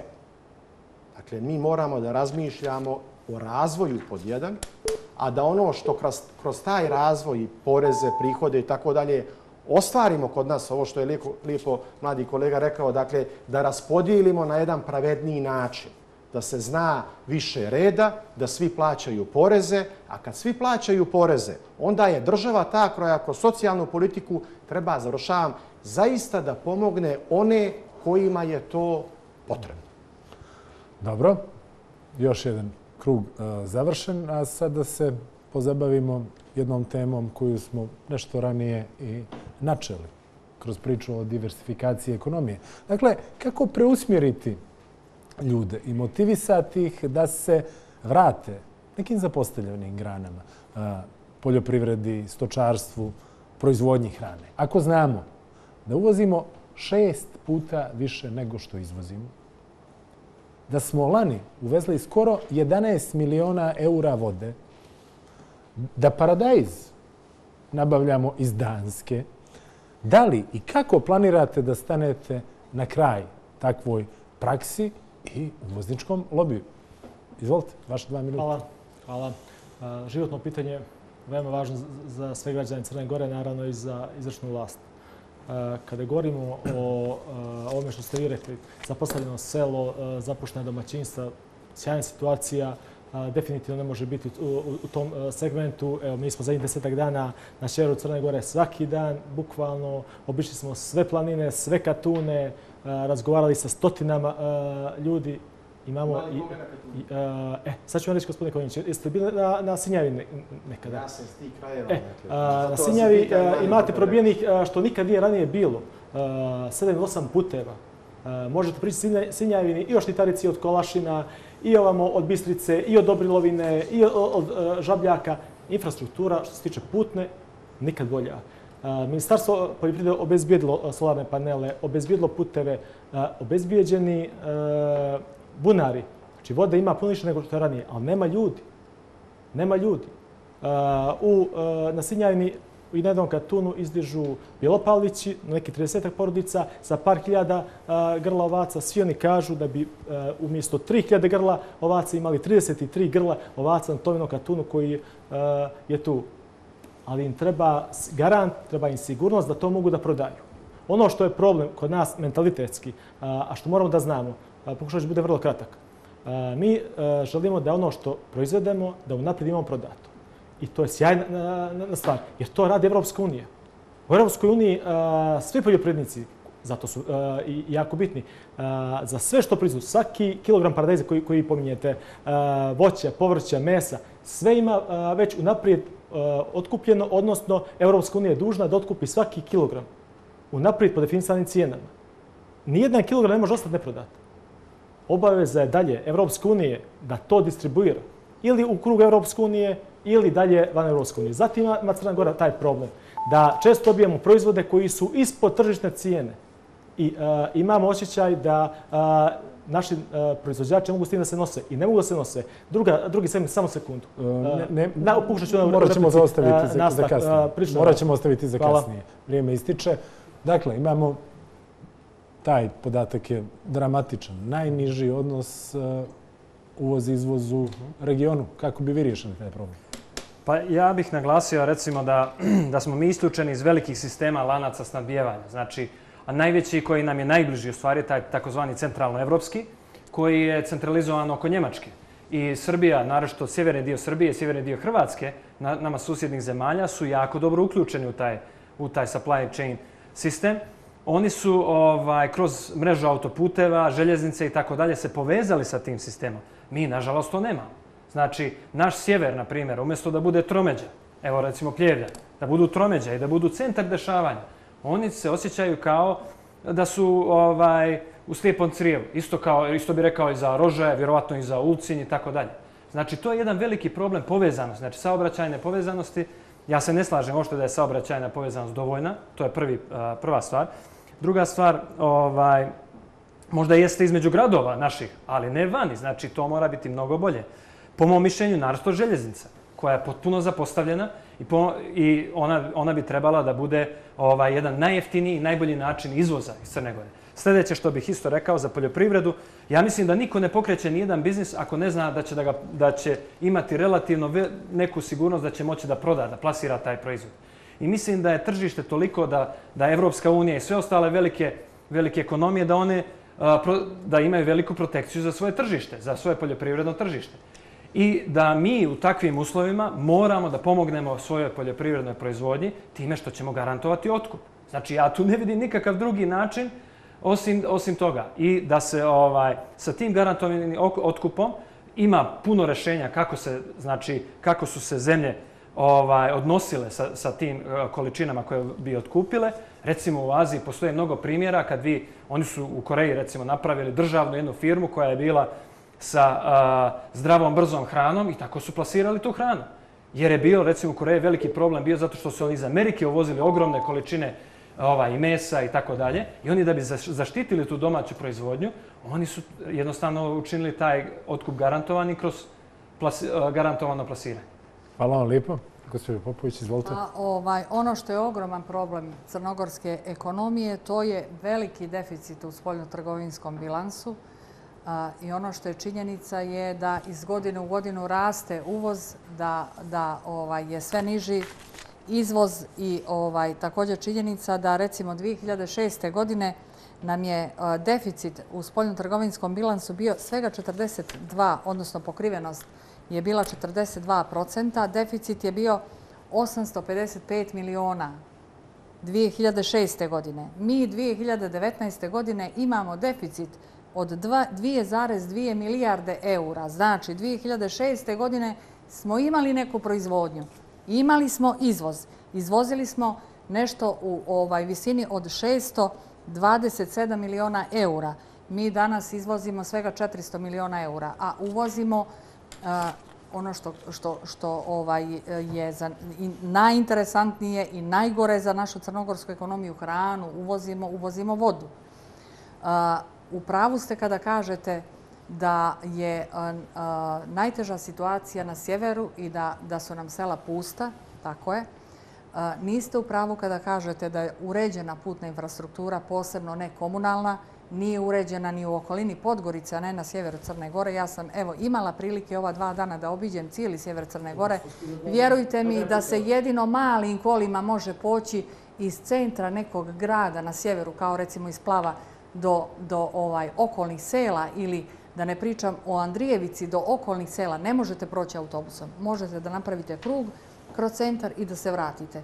Ono što se definitivno mora uraditi da bi se mladi vratili selu i poljoprivredi. A ova kriza, COVID kriza je pokazala da je to naša šansa. Da je to naša šansa. To je da mi stvorimo preduslove tako što ćemo napraviti kvalitetnu putnu infrastrukturu i komunalnu infrastrukturu, garantovati ljudima koji ulože u biznis otkup poljoprivrednih proizvoda i napraviti jednu agrobanku koja bi imala sredstva koja bi se mogla plasirati u poljoprivredu i stočarstvo.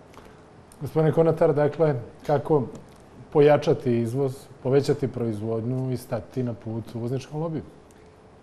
Pa sigurno ne tako što će ministar poljoprivrede opet biti Milutin Simović ili što će ministar biti e, Petar Ivanović. Dakle, sa tim ljudima nema e, borbe protiv, e, e, e da kažem, e, uvozničkog lobija i povećanje poljoprivredne proizvodnje u Crnoj Gori. I slobodno mogu reći da u poslednjih par mjeseci a građani će mi biti svedoci više za poljoprivredne proizvođače. Uradila Facebook grupa Kupujemo domaće proizvode koju su formirali jedan mladi bračni par bez ikakvog interesa ovaj, gdje su ljudi, gdje se napravila prava mala berza poljoprivrednih proizvoda i gdje su ljudi mogli direktno da dođu do, ovaj, do proizvođača. Više su oni uradili za crnogorsku poljoprivredu i za plasman proizvoda nego Petar Ivanović i Milutin Simović zajedno. Dakle, sa njima nema borbe za bolju eh, poljoprivredu u Crnoj Gori. Podsjetit ću vas i crnogorsku javnost na Abu Dhabi fond iz 2013. 14. 15. 16. godine. 20 miliona eura uloženih država garantovala za te kredite. Gradina iz Rožaja, Vektra Jakić iz Pljevalja, e, carine u Šavniku ili Plužinama, e, mljekara Milkraft u Pavinom polju. Znate li koliko novih radnih mjesta? Znate li koliko litara mlijeka? Znate li koliko proizvodnje drveta, da kažem, finalnih proizvoda ili proizvoda? Nula. Nula, poštovani građani. Dakle, sa tim ljudima nema napretka za crnogorsku poljoprivredu ja vjerujem, kao što su ovi mladi ljudi pokrenuli ovo, da kažem, ovaj inovativni način distribucije poljoprivrednih proizvoda, ja vjerujem da se među mladim ljudima u Crnoj Gori i među proizvođačima nalazi ogromna energija koju treba pustiti. I pitanje, molim vas, samo mi dozvolite da odgovorim, kako da vratimo i da povećamo poljoprivrednu proizvodnju. To ćete morati u replici. Redna rečenica. Tako što ćemo garantovati otkup poljoprivrednih proizvoda na rednih 20 godina u Crnoj Gori. Gospodine Konjević. Znate, ja mislim da je strašno važno prvo da znamo šta treba da očekujemo od poljoprivrede. Znate koliko je dio poljoprivrede u brutodruštvenom proizvodu Austrije? 1%. Znate koliko je u Holandiji? 1,5%. Nemamo sada da mislimo da je poljoprivreda spas za crnogorsku ekonomiju ako je razvijamo tako dalje. Kod nas je 8 do 9%. Ono što je karakteristika, dakle, da najrazvijenije poljoprivrede u Evropi imaju manje od 3% učešća brutodruštvenog proizvoda. Dakle, nemojmo da mislimo da je u poljoprivredi jedini spas. Dakle, mi imamo probleme u tom sektoru, on ima učešće od 8 do 9% u bruto društvenom proizvodu. Dakle, ali ja mislim da su izdvajanja iz budžeta iz nacionalnog budžeta nije su dovoljni. Saopštit ću precizne podatke. Dakle, izdvajanje iz nacionalnog budžeta su 20 miliona, što je oko 1% budžeta, što je najmanje u Evropi. Od tih 20 miliona plate i socijalna, i socijalna davanja za staračke naknade su 3,2 miliona. Dakle, vama operativno, ako mogu tako da kažem, ostaje nekih 17 miliona. Drugo je ova pomoć iz Europske unije koja dolazi, koja nažalost nije iskorišćena na adekvatan način, najveći njen dio, najveći dio nje, nje se morao, morao vratiti. Dakle, ono što uh, uh, ima šansu crnogorska poljoprivreda, dakle, ne mislim, možda će mi jedan dio ljudi da zamjeri, ali ću biti iskren i otvoren. Dakle, nisam to rekao ja, to je rekao gospodin Budimir Mugoša, ministar poljoprivrede u, u, u prelaznoj vladi 2016. godine nemojmo očekivati da je tako lako pokrenuti novi poljoprivredni biznis na selu jer to košta. Gospodin Mugoša to zna bolje od mene. Dakle, ja se slažem s tim u tom segmentu. Mi moramo da, mi, mi moramo da iskoristimo onaj dio šanse koji se tiče komplementarnosti poljoprivrede i turizma. I da tu budemo mnogo precizniji od ovog širokog obuhvata koji je vezan, završavam, koji je vezan za poljoprivredu, da možemo da proizvodimo sve i svašta. Iskoristili ste vaše dva minuta. Sad replike. Izvolite. Izvolite. Uh, ono što sam smatrao prije značajnim uh, da kažem kada govorite o toj diskrepanci između uh, uvoza i izvoza u Crnoj Gori. Definitivno, ogromna je razlika i uvozni deficit koje Crna Gora ima je stravičan. Tu nema šta se zavaravamo i svaki euro koji izađe Crne Gore je ogroman, ali dva podatka imamo. Prvo, preferencije crnonskih potrošača su jako okrenute ka uvoznim proizvodima.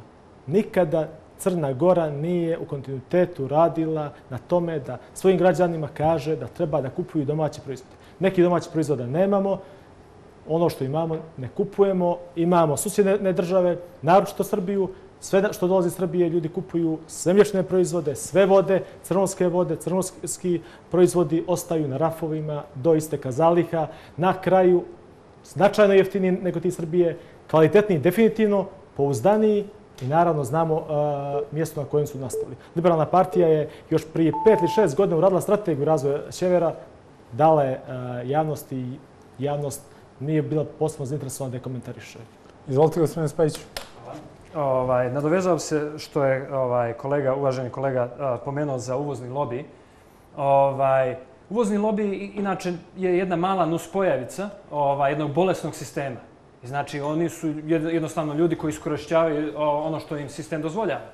Čim se ovaj, uspostavi vladavina prava i čim se ti zakoni budu poštovali, a u isto vrijeme ovaj, uvedu se neke tarife i tako dalje, druge mjere na koje svaka država ima pravo da iskoristi, taj uvozni lobby će drugu pjesmu pjevati. To je prva stvar. Druga stvar, uh, isto kolega Konjević je spomenuo turizam i poljoprivredu ovaj, poljoprivredi, izvinjavam se, ovaj, da ima 1,5% recimo u bruto društvenom proizvodu Austrije, Holandije i tako dalje.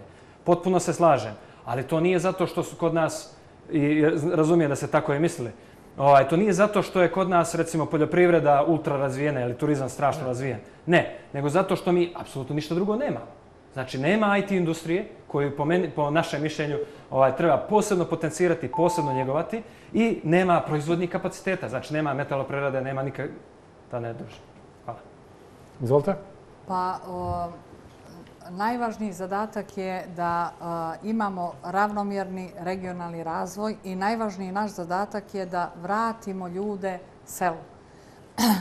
Sama činjenica da će se ljudi vratiti na selo znači da će se baviti poljoprivredom i stočarstvom. Potpuno sam saglasna da to ne može samostalno da bude samo jedna naša strateška grana. Mora se uvezati zajedno sa turizmom.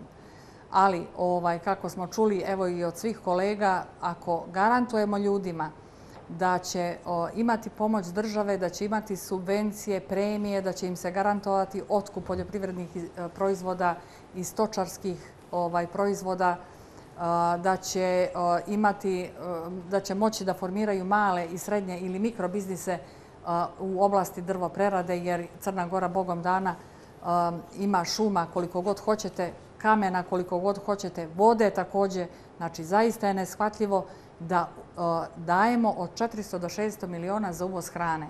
Pri tome, kažem, nešto moramo i da uvezemo. Bananas nema, ananasa takođe nema. Je li tako? Izvinjavam se. Izvolite. Nastavit ću.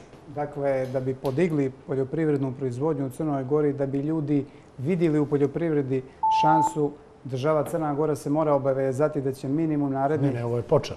Da će minimum narednih 20 godina... Ne brinite, vodim računa tamo. Da će minimum narednih 20 godina garantovati otkup svakog proizvedenog poljoprivrednog proizvoda. Bez toga ne možemo govoriti o mogućnosti povećanja poljoprivredne proizvodnje u Crnoj Gori. Ja ne vidim poljoprivredu kao vodeću privrednu granu, ali vidim poljoprivredu kao šansu ravnomjernom razvoju, regionalnom razvoju u Crnoj, u Crnoj Gori. Ja mislim da mi Crnu Goru u svijetu moramo da brendiramo kao ekološku državu, državu čistog vazduha, čiste vode, čiste prirode i zdrave hrane. Dakle, kad god neko dođe u Crnu Goru da zna da ga čeka ekološka država u kojoj će moći da proba organske, zdrave poljoprivredne proizvode. Svaki put od hiljadu milja počinje jednim korakom. Da bi krenuli ovim putem, ovaj korak je garantovani otkup poljoprivrednih proizvoda u Crnoj Gori. Izvinjavam se što vas sve ubrzavam, ali vrijeme teče. Ostalo je još malo. Želim da ostanem u granicama planiranja. Kao što sam rekao, mislim da poljoprivreda ima šansu u ovom dijelu komplementarnosti sa turizmom. Ne mislim da u poljoprivredi možemo da proizvodimo sve. Dakle, i kolega Konatar je govorio o tome. Ja sam potrošio dvije godine u parlamentu i ovu priliku sada koristim jer je upravo prije nekoliko dana istekao taj ugovor oko te mljekare u Pavinom polju. Dakle, takva vrsta projekata koja se megalomanski pokreće, koja nema nikakav rezultat, kao i u slučaju Vektre, koja je najveći porezki dužnik, dakle, nešto što nas sve opominje, da fokus moramo da damo ka, malim, ka malom, srednjem i mikrobiznisu. Preko 90% ekonomije Evropske unije čini mali, srednji i mikrobiznis. Dakle, mi o tome u Crnoj Gori, ne, ne mogu reći da ne pričamo, ali ne pričamo dovoljno. Mi ne pričamo u uslovima u kojem ti ljudi posluju, o opterećenjima njihovim, o porezima, o tome šta oni misle, šta je potrebno i tako dalje. Oni čine oni e, zapošljaju dvije trećine ukupno zaposlenih u Crnoj Gori, a 95% registrovanih preduzeća u Crnoj Gori su ta preduzeća. Ako, završam rečenicu, ako njima damo šansu i u poljoprivredi, i u poljoprivredi, onda će to imati smisla, ali u onom segmentu koji će dominantno doprinijeti komplementarnosti sa turizmom. Hvala. Još jedan blok reklama, pa se vraćamo na raspravu. Ponovo smo u studiju, gledate debatu posvećenu ekonomiji. Idemo na posljednje pitanje, onda ćemo malo skratiti i repliku i završnu riječ, pošto ste svi potrošili e, po malo vremena mimo utvrđenih pravila, sami ste sebi pojeli vrijeme. Šta da vam radim? Dakle, idemo na sljedeće pitanje. E, Vlada autoput tratira kao projekat vijeka. Uprkos činjenicama koje govore da su greške tokom ugovaranja tog posla građanje već koštale stotine miliona eura. Zaboravljena petlja, priključak na vodu, struju. Da li bi završetak autoputa ove i narednih dionica bio vaš prioritet u sljedeće četiri godine? I koliko ima smisla e, dovršavati taj projekat ukoliko se istovremeno ne podiže aktiva na sjeveru? Budući da jedan dio oponenata kaže da bi taj autoput na kraju samo ubrzao dolazak ljudi iz sjevernog u južni region. Izvolite. Hvala. E, definitivno. E, završetak i ove dionice i svi prostali dionice mora biti prioritet i sljedeće vlade i eventualno vlade poslije te vlade. To je nešto što je Crnoj Gori e, nasušno treba, bez čega Crna Gora ne može nikako računati na ozbiljnu infrastrukturu kad je u pitanju put. put. Znači, bez te putne infrastrukture Crna Gora ne može funkcionisati kao ozbiljna država. Ne samo taj autoput, nego i onaj Jadransko-Jonski o kojem smo pričali, on je još možda i važniji u ovom trenutku bi nas povezao sa cijelom Europskom unijom i na taj način omogućio i jednostavni dolazak turista i transport roba i usluga sa ono što je neophodno. Znači, definitivno liberalna partija, smatram da to mora podržavati, ne samo liberalna partija, nego svi u Crnoj Gori mora biti tu jedinstveni da se to treba podržati. Da li je bilo grešaka u prilikom projektovanja i izradnje? Na svu sreću imamo i tužilaštvo i sudove i policiju. Neka utvrde, neka sankcionišu, neka odgovara svako je odgovoran za to i za koga se utvrdi da je iz objektivnih i subjektivnih razloga uradio nešto što nije dobro za državu i za građane Crne Gore. Jer ko raspolaže novcem Crne Gore mora biti odgovoran za svaki euro. Značajno je dalje, vezno za Čever, mislim da otvaranje sjevera Crne Gore je nešto što je, je e, jako važno za ovu državu. Ako želimo e, da imamo e, izbalansiran razvoj sjevera i juga, moramo otvoriti sjever. Sa ovim što imamo sad, sa putnom infrastrukturom koja se zastavlja na jednom putu kroz platije, jako nesigurnim, ne možemo pomoći. Da li će pobjeći građani sa sjevera? Neko bi se našao i rekao da više nema ko da bježi, ko ima da pobjene pobjegoje. Upravo zato što nije imao sređene odnose gore, što nije mogao da, da živi u uslovima koji danas važe za prosto standarda u Evropi. Otvaranje e, sjevera značilo bi i vraćanje ljudi na selo, i e, razvoj ruralne poljoprivrede i sve ono što je neophodno za građane e, sjevera Crne Gore da bi mogli da žive i rade na sjeveru, a da žive kao svi ljudi koji žive u zapadnoj Evropi, odnosno ono što je nam ideal, eventualno Slovenija, Austrija. Gospodin Spajić, izvolite. Ja bih se nadovezao da generalno autoput treba da spaja ekonomske, privredne i kulturne centre i da jedan autoput koji je tako skup kao, kao u našem slučaju, koji možda je bez presedana ili eventualno u slučaju Švajcarske ovaj, u Evropi, hoću da kažem, koji je jako, jako skup projekat, mora da spaja znači, neko, neki Milano, Cirih i Minhen da bi imao finansijskog smisla. Kod nas je, to, je jednostavno, to jednostavno nije slučaj, tako da je ovo potpuno promašen projekat. Međutim, mi već imamo taj projekat, on je tu i tako da, znači, mi moramo da završimo taj projekat. I ovaj, još bi nešto htio da kažem što se tiče autoputa. Znači, mi nemamo nikakve garancije. Iako izgradimo taj autoput, recimo, do granice Srbije, Znači, mi, ima, mi smo u katastrofalnim odnosima sa Srbijom trenutno. Znači, ponekad čak i radimo protiv njenih interesa spoljnopolitički. politički I kako mi da očekujemo da će neko sad napraviti autoput do naše granice, da se to nastavi? Znači, po mom mišljenju, to je bilo jedan veliki promašaj i da, na, to, će biti, to će nam biti omča oko vrata ovaj, u sljedećim godinama. A, također bih na, naglasio da je za, za razvoj sjevera, ko što smo rekli, mnogo puta. Vrlo bitna je ta humana dualna, ekonom, ovaj, dualna ekonomija koja, ovaj, koja bi uključila poljoprivredu a, tako, i ovaj, uključila da, druge, ovaj, a, druge industrije. Znači, ljudi bi mogli da rade uz poljoprivredu, mogli bi da rade neke druge poslove. A, također bih a, želio da kažem da, da je željeznica nezasluženo ovaj, potpuno zaboravljena u Crnoj Gori i da je, da je u svakoj, ja, ja, ja samo vidim kroz razvijene zemlje, recimo istoka u, u Aziji, u Evropi također, da bez željeznice nema dobrog izvoza, nema dobrog povezivanja sa, a, sa razvijenim zemljama. Znači, to je, po mojom mišljenju, mnogo, mnogo bitnije bilo nego autoput. Hvala vam najljepše. Izvolite. Pa, kada se donosila odluka o izgradnji autoputa, bila sam poslanica u Skupštini Crne Gore i tada sam se zdušno zalagala protiv ovog projekta jer je ovo zaista bio megalomanski projekat koji nije bio potreban Crnoj Gori. Mi smo se u, to, u ovoj situaciji postavili kao jedan raskalašan domaćin koji nema novca, e, podiže kredite i želi da napravi neku megalomansku ogromnu kuću sa ogromnim bazenima. Bukvalno se tako država odnijela prema ovom projektu. Međutim, sada kada, se, kada smo došli u ovu situaciju da imamo a, a, tu dionicu autoputa koja je već pri kraju, moramo razmišljati da se nastavi. Znači, sada više stajanja nema. A, a, nisam za varijantu da država više ulaže, niti da se zadužuje za izgradnju nastavka autoputa. A, jesam za to i jesmo za to kao, kao partija da se putem privatno-javnog partnerstva nađe način da se dođe do završetka, do granice sa Srbijom ili preko bot sistema ovaj, da se nađe neki partner koji bi uzeo da to odradi do granice sa Srbijom. I ono što je jako važno, Jadransko-jonski put, ovaj, Jadransko-jonski koridor i što se tiče putne infrastrukture, povezivanje e, Tivta sa Budvom zbog značaja Tivta i značaja aerodroma, i značaja našeg primorja, ovaj, to, je negdje, to su negdje naši prioriteti. Što se tiče putne infrastrukture na sjeveru Crne Gore, od e, 1945. 46. godine se ništa nije uradilo.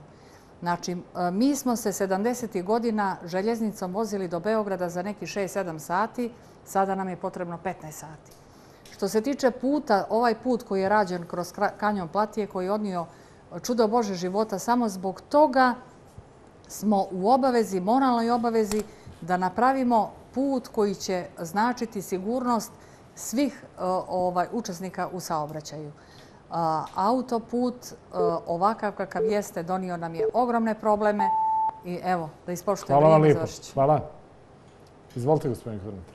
Pa, jedan dio uh, odgovora na vaše pitanje se nalazi u ovom vladinom, trećem vladinom paketu mjera gdje nema E, nastavka e, autoputa, nema izgradnje dionice od Mateševa do Andrijevice, upravo zbog finansijskog aranžmana sa Međunarodnim monetarnim fondom.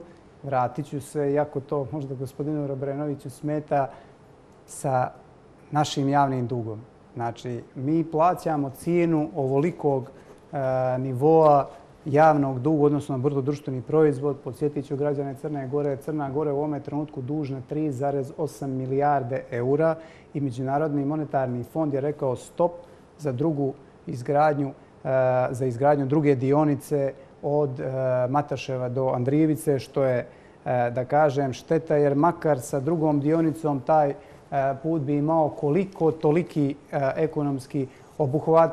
Prva dionica se mora završiti. Nama će rate za kredit za autoput stići već od sljedeće godine. Dakle, mi od sljedeće godine moramo da vraćamo rate za autoput, bio on završen ili ne. Ono što, zašto sam u prvom dijelu emisije rekao da je vladin treći paket mjera šarena laža od milijardu i dvesta, koliko je predviđeno, 750 miliona odpada na hidroelektranu Komarnica, koja u ovome trenutku nema ni idejni projekat. Dakle, stoji tako neđe u oblacima, mi ne znamo ni koliko će ona da košta, nema idejnog projekta, nema ni jedne studije e, e, kada je u pitanju uticaj na životnu sredinu, studije izvodljivosti, ničega. E, dakle, infrastruktura, po našem mišljenju, treba ulagati u energetiku, u zelenu ekonomiju, vjetroelektrane, solarne elektrane, u investicije koje su visoko profitabilne od kojih će država imati korist. Mi moramo završiti ovu dionicu autoputa zbog pogrešne politike, nažalost, dalje ne može. Hvala vam lijepo. Izvolite, gospodine Kodjević. Najprije da kažem da sam iznenađen od nekih kolega koje sam čuo da misle da je projekat autoputa promašen. Dakle, da istovremeno pričamo o potrebi razvoja sjevera. Dakle, to je prosto nemoguće. Dakle, a svi govorimo sa druge strane da nam je potrebna infrastruktura. Dakle, projekat autoputa prema sjeveru je potreban Crnoj Gori, kao što je potreban i ovaj prema jugu. Drugo je kada govorimo da li je on ugovoren, osmišljen i tako dalje. To je neka druga priča. Ja govorim na bazi onoga što sam imao priliku ova dva minuta, dva minuta ovaj, da, da čujem. Prema tome, ne samo ovaj dio, dakle, nego i dijelovi prve i treće dionice, dakle, kogod bio vlast, morat će se truditi da to završi. Jer to nije put Podgorica, odnosno bar Boljari, nego je to put bar Beograd. I kači se kasnije na cijelu tu transverzalu. Prema tome, interes Crne Gore je da ima tu trasu na koju srednjoevropsku ili kako li se zove, na koju je, na koju je e, e, nakačena. Dakle, vidite, projekti autoputeva nisu profitabilni projekti. Da su to profitabilni projekti, njih bi gradili privatnici. to gradi država, ona mora da to gradi odgovorno, odgovorno i da onaj ko to nije radi odgovorno bude od strane nadležnih organa sankcionisan. Dakle, ja ću vas posjetiti, Hrvati su prije nekih 10 ili 15 godina krenuli u izgradnju svoje mreže ili svog autoputa u, u dvije, da kažem, u dvije dionice. Također je bilo otpora javnosti, zadužujemo se i tako dalje. Dakle, danas Hrvatska ima jedan od najmodernijih autoputeva, autoputeva u Evropi. Prema tome, dakle, u tom kontekstu mislim da nam je taj put potreban. Kogod je odgovoran da nešto nije dobro urađeno, treba da bude sankcionisan, ali nemojmo zaboraviti. Dakle, nećemo mi autoputem, nećemo samo fizičkom infrastrukturnom e, povezanošću pomoći sjeveru. Dakle, ja mislim da je šansa za sjever da stvorimo one uslove malom i srednjem biznisu koje su mu potrebni kako bi tamo mali i srednji biznis privatnom inicijativom radna mjesta otvorio. Niste bili preracionalni sa vremenom. Nadam se da će kogod bude bio u prilici biti racionalni sa našim novcem. Tako ste sebi pojeli pravo na repliku i na zagarantovane e, završne riječi. Imate po 30 sekundi i krenite. Samo e, prvo, e, kolegi iz URE, vezano za projekat Komarice. Projekat je urađen prije 30 godina. Uradila ga elektroprivreda Crne Gore. Toliko o tome ne postoji ni deni projekat. Jesmo to završne riječi? Da, definitivno. To je vrlo važna stvar. To, to sam morao reći, znači to da znam. Sve ostalo smo rekli, smatram i kao liberal, kao liberal i kao predsjednik liberalne partije da Crna Gora mora da se razvija ka Evropi, da posao moramo razvijati i sjever Crne Gore. To je prioritet svih prioriteta i ove i sljedeće, svih sljedećih vlada. Hvala vam lijepo, gospodine Spajiću, vaših 30 sekundi. Ova, ja bih, znači, zbog politike vlade u, u proteklih 30 godina, mi smo imali situaciju da nam je platni promet katastrofalan i zbog toga mi zavisimo, znači, od stranog kapitala, od stranih investitora. Ti strani investitori, naravno, da oni, ovaj, pored svih mjera koje vlada treba da donese, ti strani investitori traže jednu jedinu stvar, a to je vladavina prava. I ovaj, ta vladavina prava mora biti u praksi. To trenutno nemamo. Jedan najbitniji primjer koji bih naveo je ovaj zakon o, vjeroispovijesti, slobodi vjeroispovijesti. po kome je, recimo, ima ovaj 50%... To će biti posljednja posebna tema ali mislim da je u okviru... U okviru e, samo, da završite. Hoću, hoću. Ovaj, taj, znači, po tome je jedan, jedna institucija koja ima podršku preko 50% građana po nekim anketama, ta institucija će se oduzeti imovina po ovom zakonu. kako jedan strani investitor koji nema ništa znači u Crnoj Gori, kad dođe u Crnu Goru, kako da se on, kakve očekivanja onda ima kad se tako odnosimo prema jednoj instituciji, nebitno da li ona vjerska, kulturna i tako dalje. Ne otima crkve i neće imati problema. Isteklo je 30 sekundi. Idemo dalje. Izvolite. Obraćam se građanima, je tako? tako je. Poštovani građani, e, Crna Gora je najveća identitetska laboratorija u, u svijetu. Dijelili su nas na partizane, četnike, dijelili su nas po vjerskoj i nacionalnoj osnovi, samo nas nisu dijelili na dobri, na dobri loše ljude.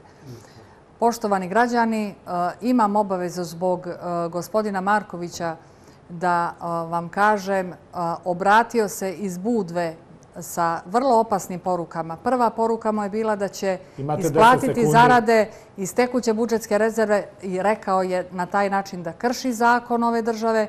I drugo, želje će vas biti, gospodine Markoviću, da više odlučujete u Crnoj gori. Naredni period od septembra mjeseca bit ćete u opozicijonim klupama neki od vas, a neki od vas, boga mi, i u jedno malo mjesto blizu Danilov grada. Hvala vam lijepo. Molim vas po 30 sekundi, vijesti samo što nisu počele. Poštovani građani, kada je krenula kriza, kada su teška vremena, svi smo tražili da se da prednom struci. Da, struk, da struka u Crnoj gori odlučuje. Evo je struka crno na bijelo, preko 100 doktora nauka, e, profesora univerziteta, doktora medicine, advokata, inženjera, stručnjaka iz raznih oblasti su izašli i izrazili želju da pomognu u Crnoj Gori u ovom trenutku, u trenutku istorijskih promjena. Dan prve demokratske smjene vlasti u Crnoj Gori bit će dan koji će zlatnim slovima biti ispisan u našoj istoriji i ja vas pozivam da krenemo ka tom istorijskom danu promjena. Gospodin Konjeviću. Zahvaljujem. Poštovani građani, jaka Crna Gora podrazumijeva jaku ekonomiju mi nezavisno od Crne Gore možemo sačuvati i dalje snažiti samo jakom ekonomijom. Nažalost, podjele koje su prisutne u društvu možemo prevazići samo ako nam ekonomija da benefit da svaki, naši građani, da svaki naš građanin živi bolje. Ja neću govoriti o bilo čemu osim o ekonomiji. Poslati vam četiri jasne poruke. Građanima da će naše zalaganje biti da prosječna plata do 2024. godine bude 700 eura poslodavcima da ćemo do 2024. godine smanjiti opterećenje sa 65 na 53% i građanima i privredi da ćemo smanjiti stopu PDV-a sa 21 na 19%. Hvala vam lijepo. Hvala vam lijepo. To bi bilo sve za večeras. Zahvaljujem se učesnicima. Pratite našu narednu e, izbornu debatu koja će se držati u ponedeljak e, 17. avgusta od 20 časova. Tema je spoljna politika. Ostanite uz televiziju Vijest.